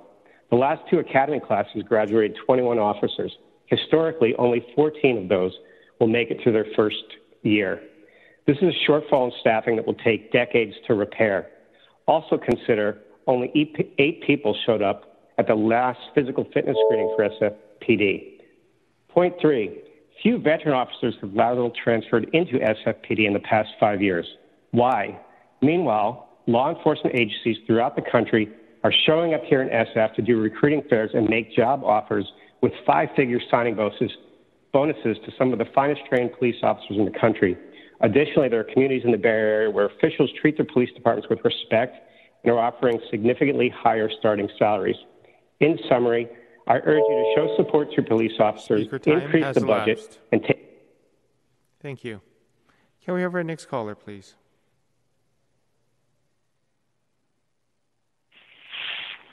Hi, good afternoon. My name is Frank Rock. I was born and raised here in San Francisco, California. I live out in the Excelsior District. I work downtown at the Tenderloin. I'm reaching out to you in support, sharing the necessary resources to allow the San Francisco Police Department to increase staffing levels and recruit new officers in order to keep workers, residents, and visitors safe. I feel that it is important to have more police officers on the street engaging in community policing and addressing crime. The recovery of our city is dependent on safety and a full staff San Francisco Police Department will play an important role protecting not only our citizens, but our economy. Myself, as I, as a servant working down here at a hotel, I was assaulted a couple of days ago, ensuring guest safety. From a military point of view, if you really want to hear it, I'm a military veteran. We are outnumbered, outforced by the homeless population. Before the pandemic, we had major conventions canceled. Tourism has went down.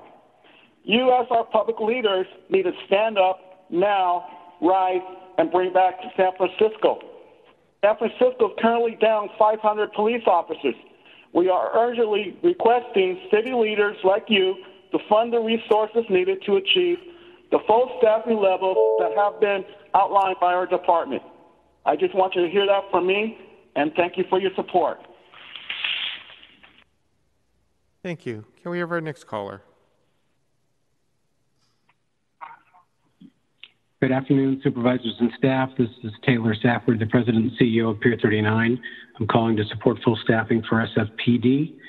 Officer deficits affect visitor, employee, and resident safety. We all know that. We've seen a significant increase in petty crime in the wharf in the last two years. And for the first time in my memory, my employees and tenants are reporting that they don't feel safe walking to their cars at night. We need the city to be safe to recover from what we've all experienced in the last two years. Thank you for your support of this important initiative. Thank you. Uh, next caller, please. Hello. I am a resident of San Francisco. I've lived here for six months, and I'm appalled by the state of the city. And I think it's directly related to the lack of police funding. I strongly urge supervisors to ignore the ideological nonsense of supervisors Chan and Preston and go forward and fund the police and actually start working for your voters instead of people on Twitter. Thank you for your time. Thank you. Can we have our next caller?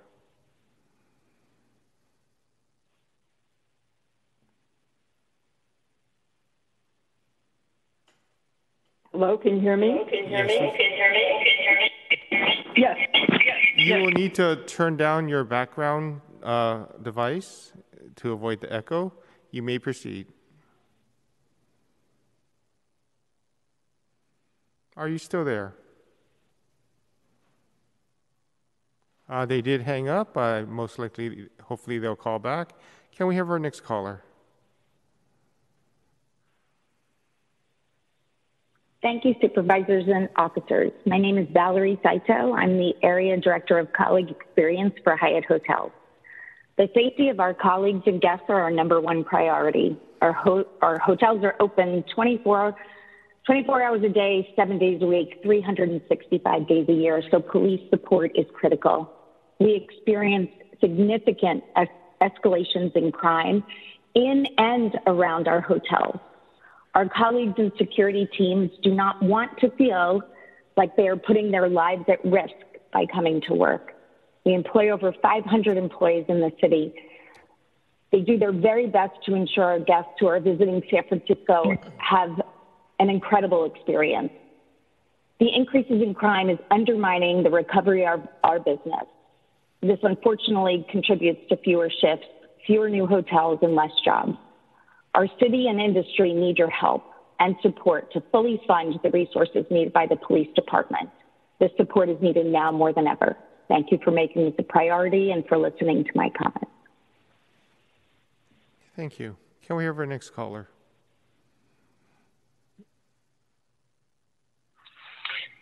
Good afternoon, supervisors. Um, my name is Hélène Sotou, and I am a project director for the Civic Center and Mid Market Community Benefit District.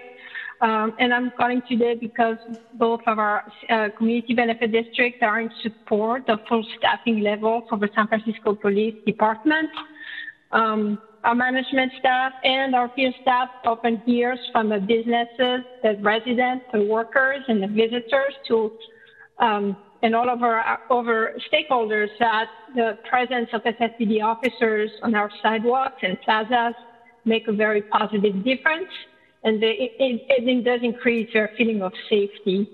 Um, I think in I think in particular, I would say I was really struck by the uh, numbers that I heard from Commander Vaswani that there are only um, one lieutenant, three sergeants, and 12 officers working the narcotic units in, in San Francisco uh, when we have hundreds of drug dealers every day uh, that we can see out there.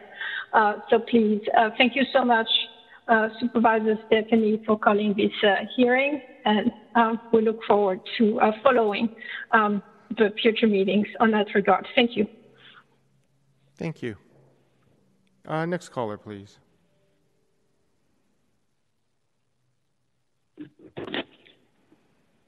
Good afternoon, supervisors. My name is Gideon Kramer. I am a 43-year uh, resident of San Francisco, uh, and I am calling. Um, I joined Rescue SF in urging the Board of Supervisors to increase staffing levels for the city, for the San Francisco Police Department. Uh, I would like to say that it baffles me that this hearing is even required and that we have so many studies. It's patently obvious that the city is in serious trouble, and the fact that we're questioning whether to have sufficient police uh, staffing is should not even be a question. The police department currently needs to add more than 500 officers to meet the recommended staffing level in an independent report. In practice, this means that the police department currently does not have the resources to keep our city safe. We see it in the department's inability to end open air drug tra- trafficking in the Tenderloin and elsewhere. We see it in the lawlessness in Union Square and the high volume of property crimes in recent years. Residents do not feel safe, and that needs to change. I urge the Board of Supervisors to provide sufficient funding to allow the department to increase staffing and ensure public safety for all San Franciscans. Thank you very much. Thank you. Can we have our next caller?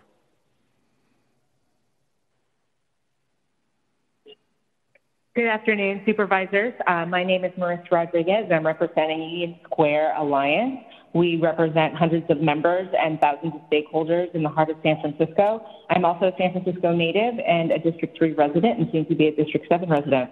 I'm calling to support San Francisco Police Department in securing the necessary resources that they need for staffing levels, for recruiting our new officers, for training new and existing officers in order to keep our workers, our residents, and all visitors to San Francisco safe. Protecting San Francisco's budget is important because many of our community members here in San Francisco and including Union Square have been victims of crime, resulting in negative impacts for all San Franciscans. We've lost so many strong service jobs because people are afraid to work here and to visit here. Help us please recover our city and support our police. I want to thank San Francisco, the San Francisco Police Department, Deputy Chief Lazar, Captain Jones, Commander Perea for their comments and their hard work in supporting the, the department, as well as I want to acknowledge the potential burnout of our officers. There are not enough. They are working so hard to try to keep our city safe, those who are still here. They need our support. I want to continue to support them. In addition, we need to support our city and, and the heart of our city as well. Thank you so much. Bye. Thank you. Can we have our next caller?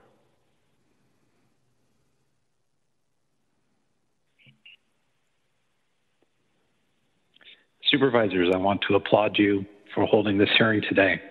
Unfortunately, the reality is there are colleagues of yours on the Board of Supervisors who have done nothing but demonize this profession. They do nothing to promote the honorable profession, which is constantly under the microscope. Those of you who are at this hearing today should encourage your fellow colleagues to stop the demonization, to encourage young constituents to get involved in keeping the city a safe place for all. Please continue shining a light on these issues. The public deserves to know how dire the situation is. Thank you. Thank you. Next caller.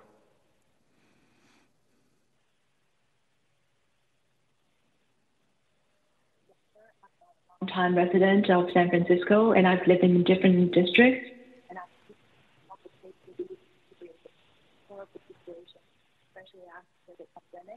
Um, my neighbors and my friends have all experienced car window being smashed when they're just parking the car overnight on the street. Or one of my friends came to visit from out of town and just parked the street car on the street for like 10 minutes and was a victim of the crime.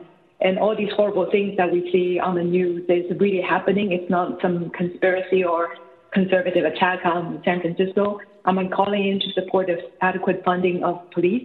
That's the only way that we can feel safe. And as a regular resident, every time we walk into the supermarket or a drugstore or the Apple store, it makes us feel safe to see the officers in the front protecting us. And until we have the district attorney recalled these repeated be released from jail as a uh, normal resident and law-abiding citizen and Chinese American, I don't feel safe on the street. So please continue to support the adequate funding of the police. Thank you. Thank you. Can we have our next caller? Yes, hi, my name is, can you hear me?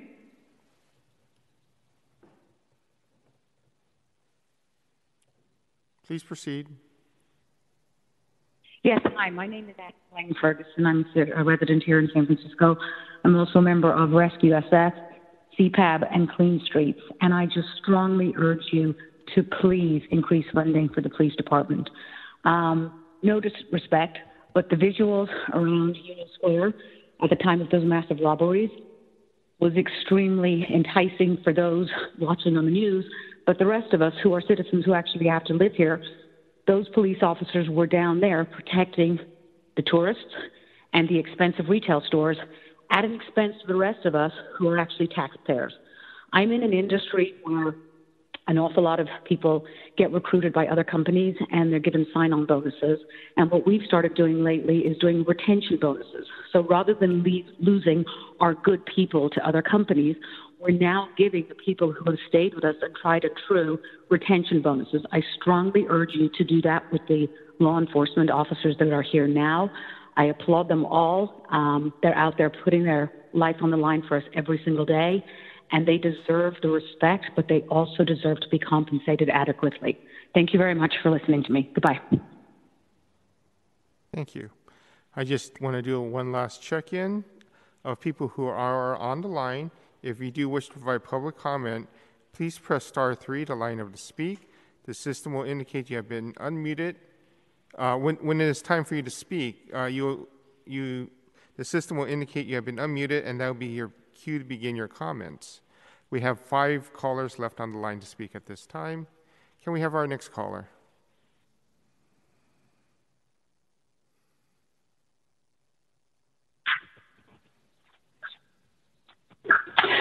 Dear uh, members of the Board of Supervisors, I'm Ellen Grants. I'm a, a, member of District 8. I've been a San Francisco resident for um, more than 20 years, and I've got two teenage sons who, who go to school here.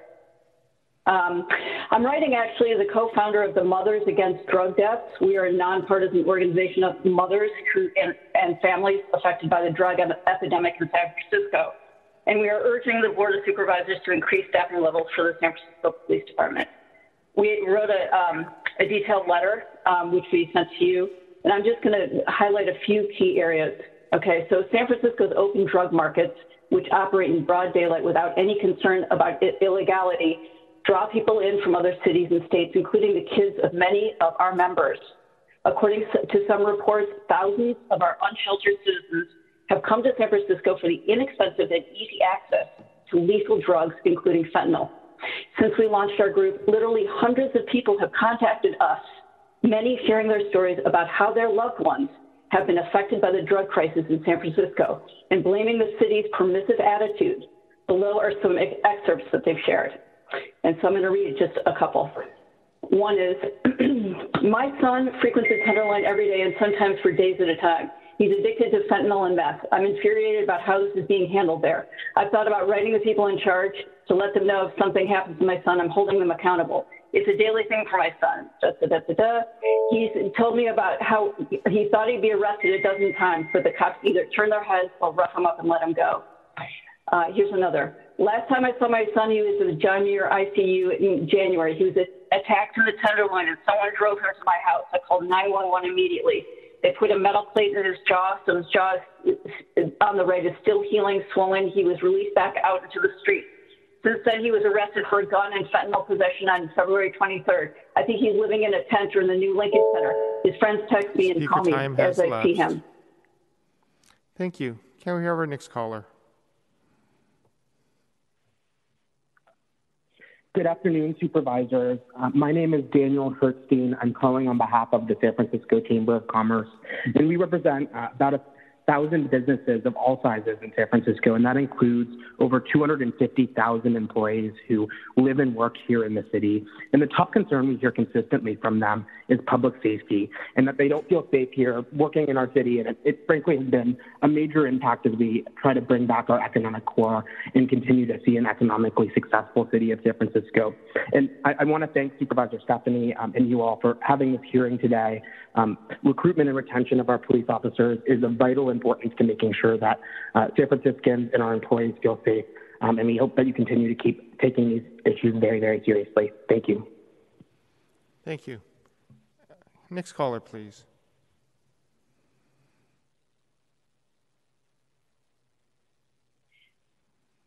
Good afternoon. Thank you. Uh, excuse me, sorry. Uh, good afternoon. Thank you, Supervisor Stefani, for calling this meeting. I urge you to increase the staffing levels for the San Francisco Police Department. As you know, the police department currently needs to add more than 500 officers to meet the recommended level of staffing. As a lifelong San Franciscan, I don't need an independent study to tell me that the streets are less safe. I've per- personally witnessed multiple retail thefts that I stupidly tried to stop. My home was broken into last year, which is extremely stressful and destabilizing. My car has been broken into three times in the last two years. An elderly Asian man was severely beaten just walking down the street around the corner from my home last year. and I'm sure you've seen the news today. There have been uh, stabbings, and people are trying to cut uh, women's fingers off to get their wedding rings.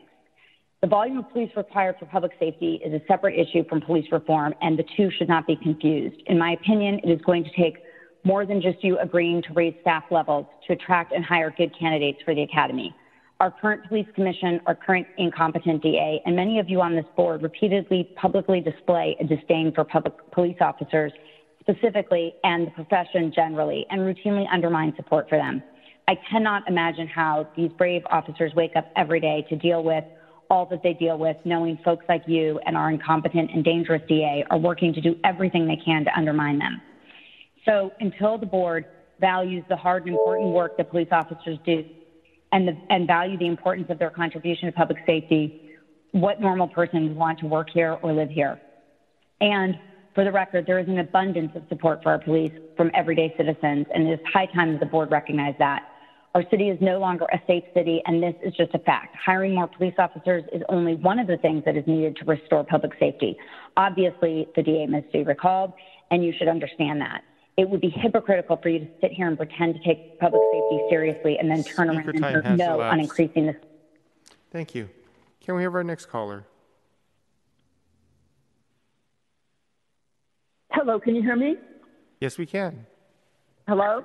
Yes, this is Marlene Morgan of Cathedral Hill Neighbors Association and the Cathedral Hill Safety Committee. Uh, want to support uh, um, adequate staffing, upgraded staffing for the city of San Francisco. Uh, our neighborhood had to go out and hire a private security patrol about five years ago because we were dealing with so much, so many problems that the police officers could not respond to adequately. We have a very close working relationship with uh, the Northern Police Station. We just met with the captain. We've asked what we could do for them. They've been very helpful. And one of the things that we know we can do is ask for adequate police staffing and uh, police compensation. And I just want to add that this is also a great opportunity while we're beefing up our police staffing is that we know that the officers have addressed, or the department has addressed a lot of the uh, compliance issues around training. It's a great time for the city of San Francisco to to tell the department what we see the vision is for their officers and the role the officers play so that they're not constantly confused by changing back and forth what they can do, what they can't do. It's very, very difficult for them. We have a great relationship with them, and we want to have a better one. And I also add that I am a member also of Rescue SF. Part of our concern around staffing is, of course, handling homelessness. Thank you. Thank you. Can we have our next caller? Good afternoon. This is Anastasia Yovanopoulos from District 8. The hearing is about police staffing. I, I heard about the current staffing levels, and I'm thinking that one way to improve this is I don't know if you are paying the, the applicants. First of all, you've got to waive that application fee to get more people to come in. You've got to screen them before they go to the training. And then the training has to be coordinated so that they get on to the job. So that it goes one, two, three. If they're screened and they're they're you know qualified, then bring them on right away. And as far as housing goes, our housing policy is terrible. You've got to get the prices of the rents so that the police can afford to live here. Thank you. Thank you. Uh, That was our last caller on the public comment call-in line. Thank you. Public comment is now closed. I, I do want to thank everyone who called in for public comment and shared your perspectives on this extremely important and urgent issue. And I think it reflects how, um, how much concern there is across the city among residents and businesses about public safety and, and the need for us to ensure that our, our police department is, is, staffed adequately.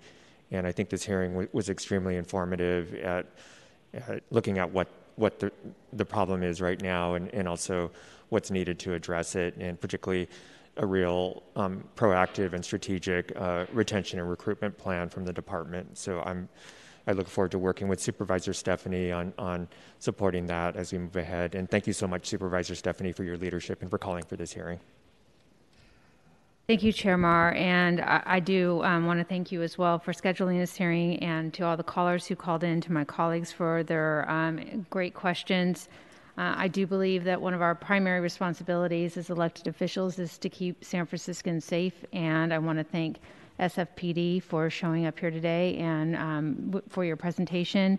I look forward to our continued work together on this issue, and I encourage all those that called in and who are watching to continue to um, follow this discussion as we go through budget negotiations because we need to properly invest in our police department uh, to uh, meet the needs of so many that are calling and so that we can do the preventative work that so many are demanding as well. So at this point, um, I think we can move to file this hearing.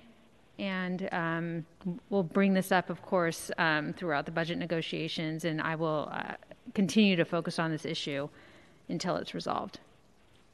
Thank you, Supervisor Stefani. Mr. Clerk, can you please call the roll on the motion to, to file this hearing?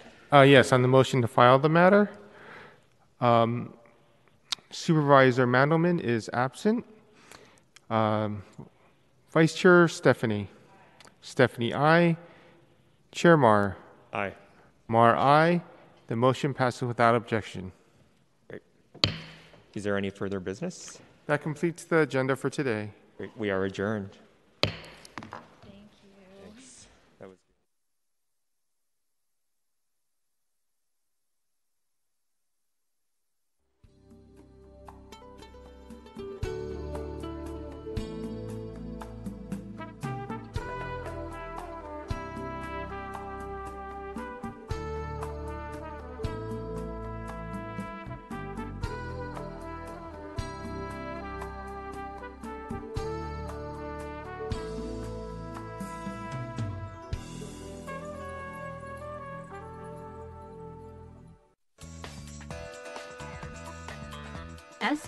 Gov TV.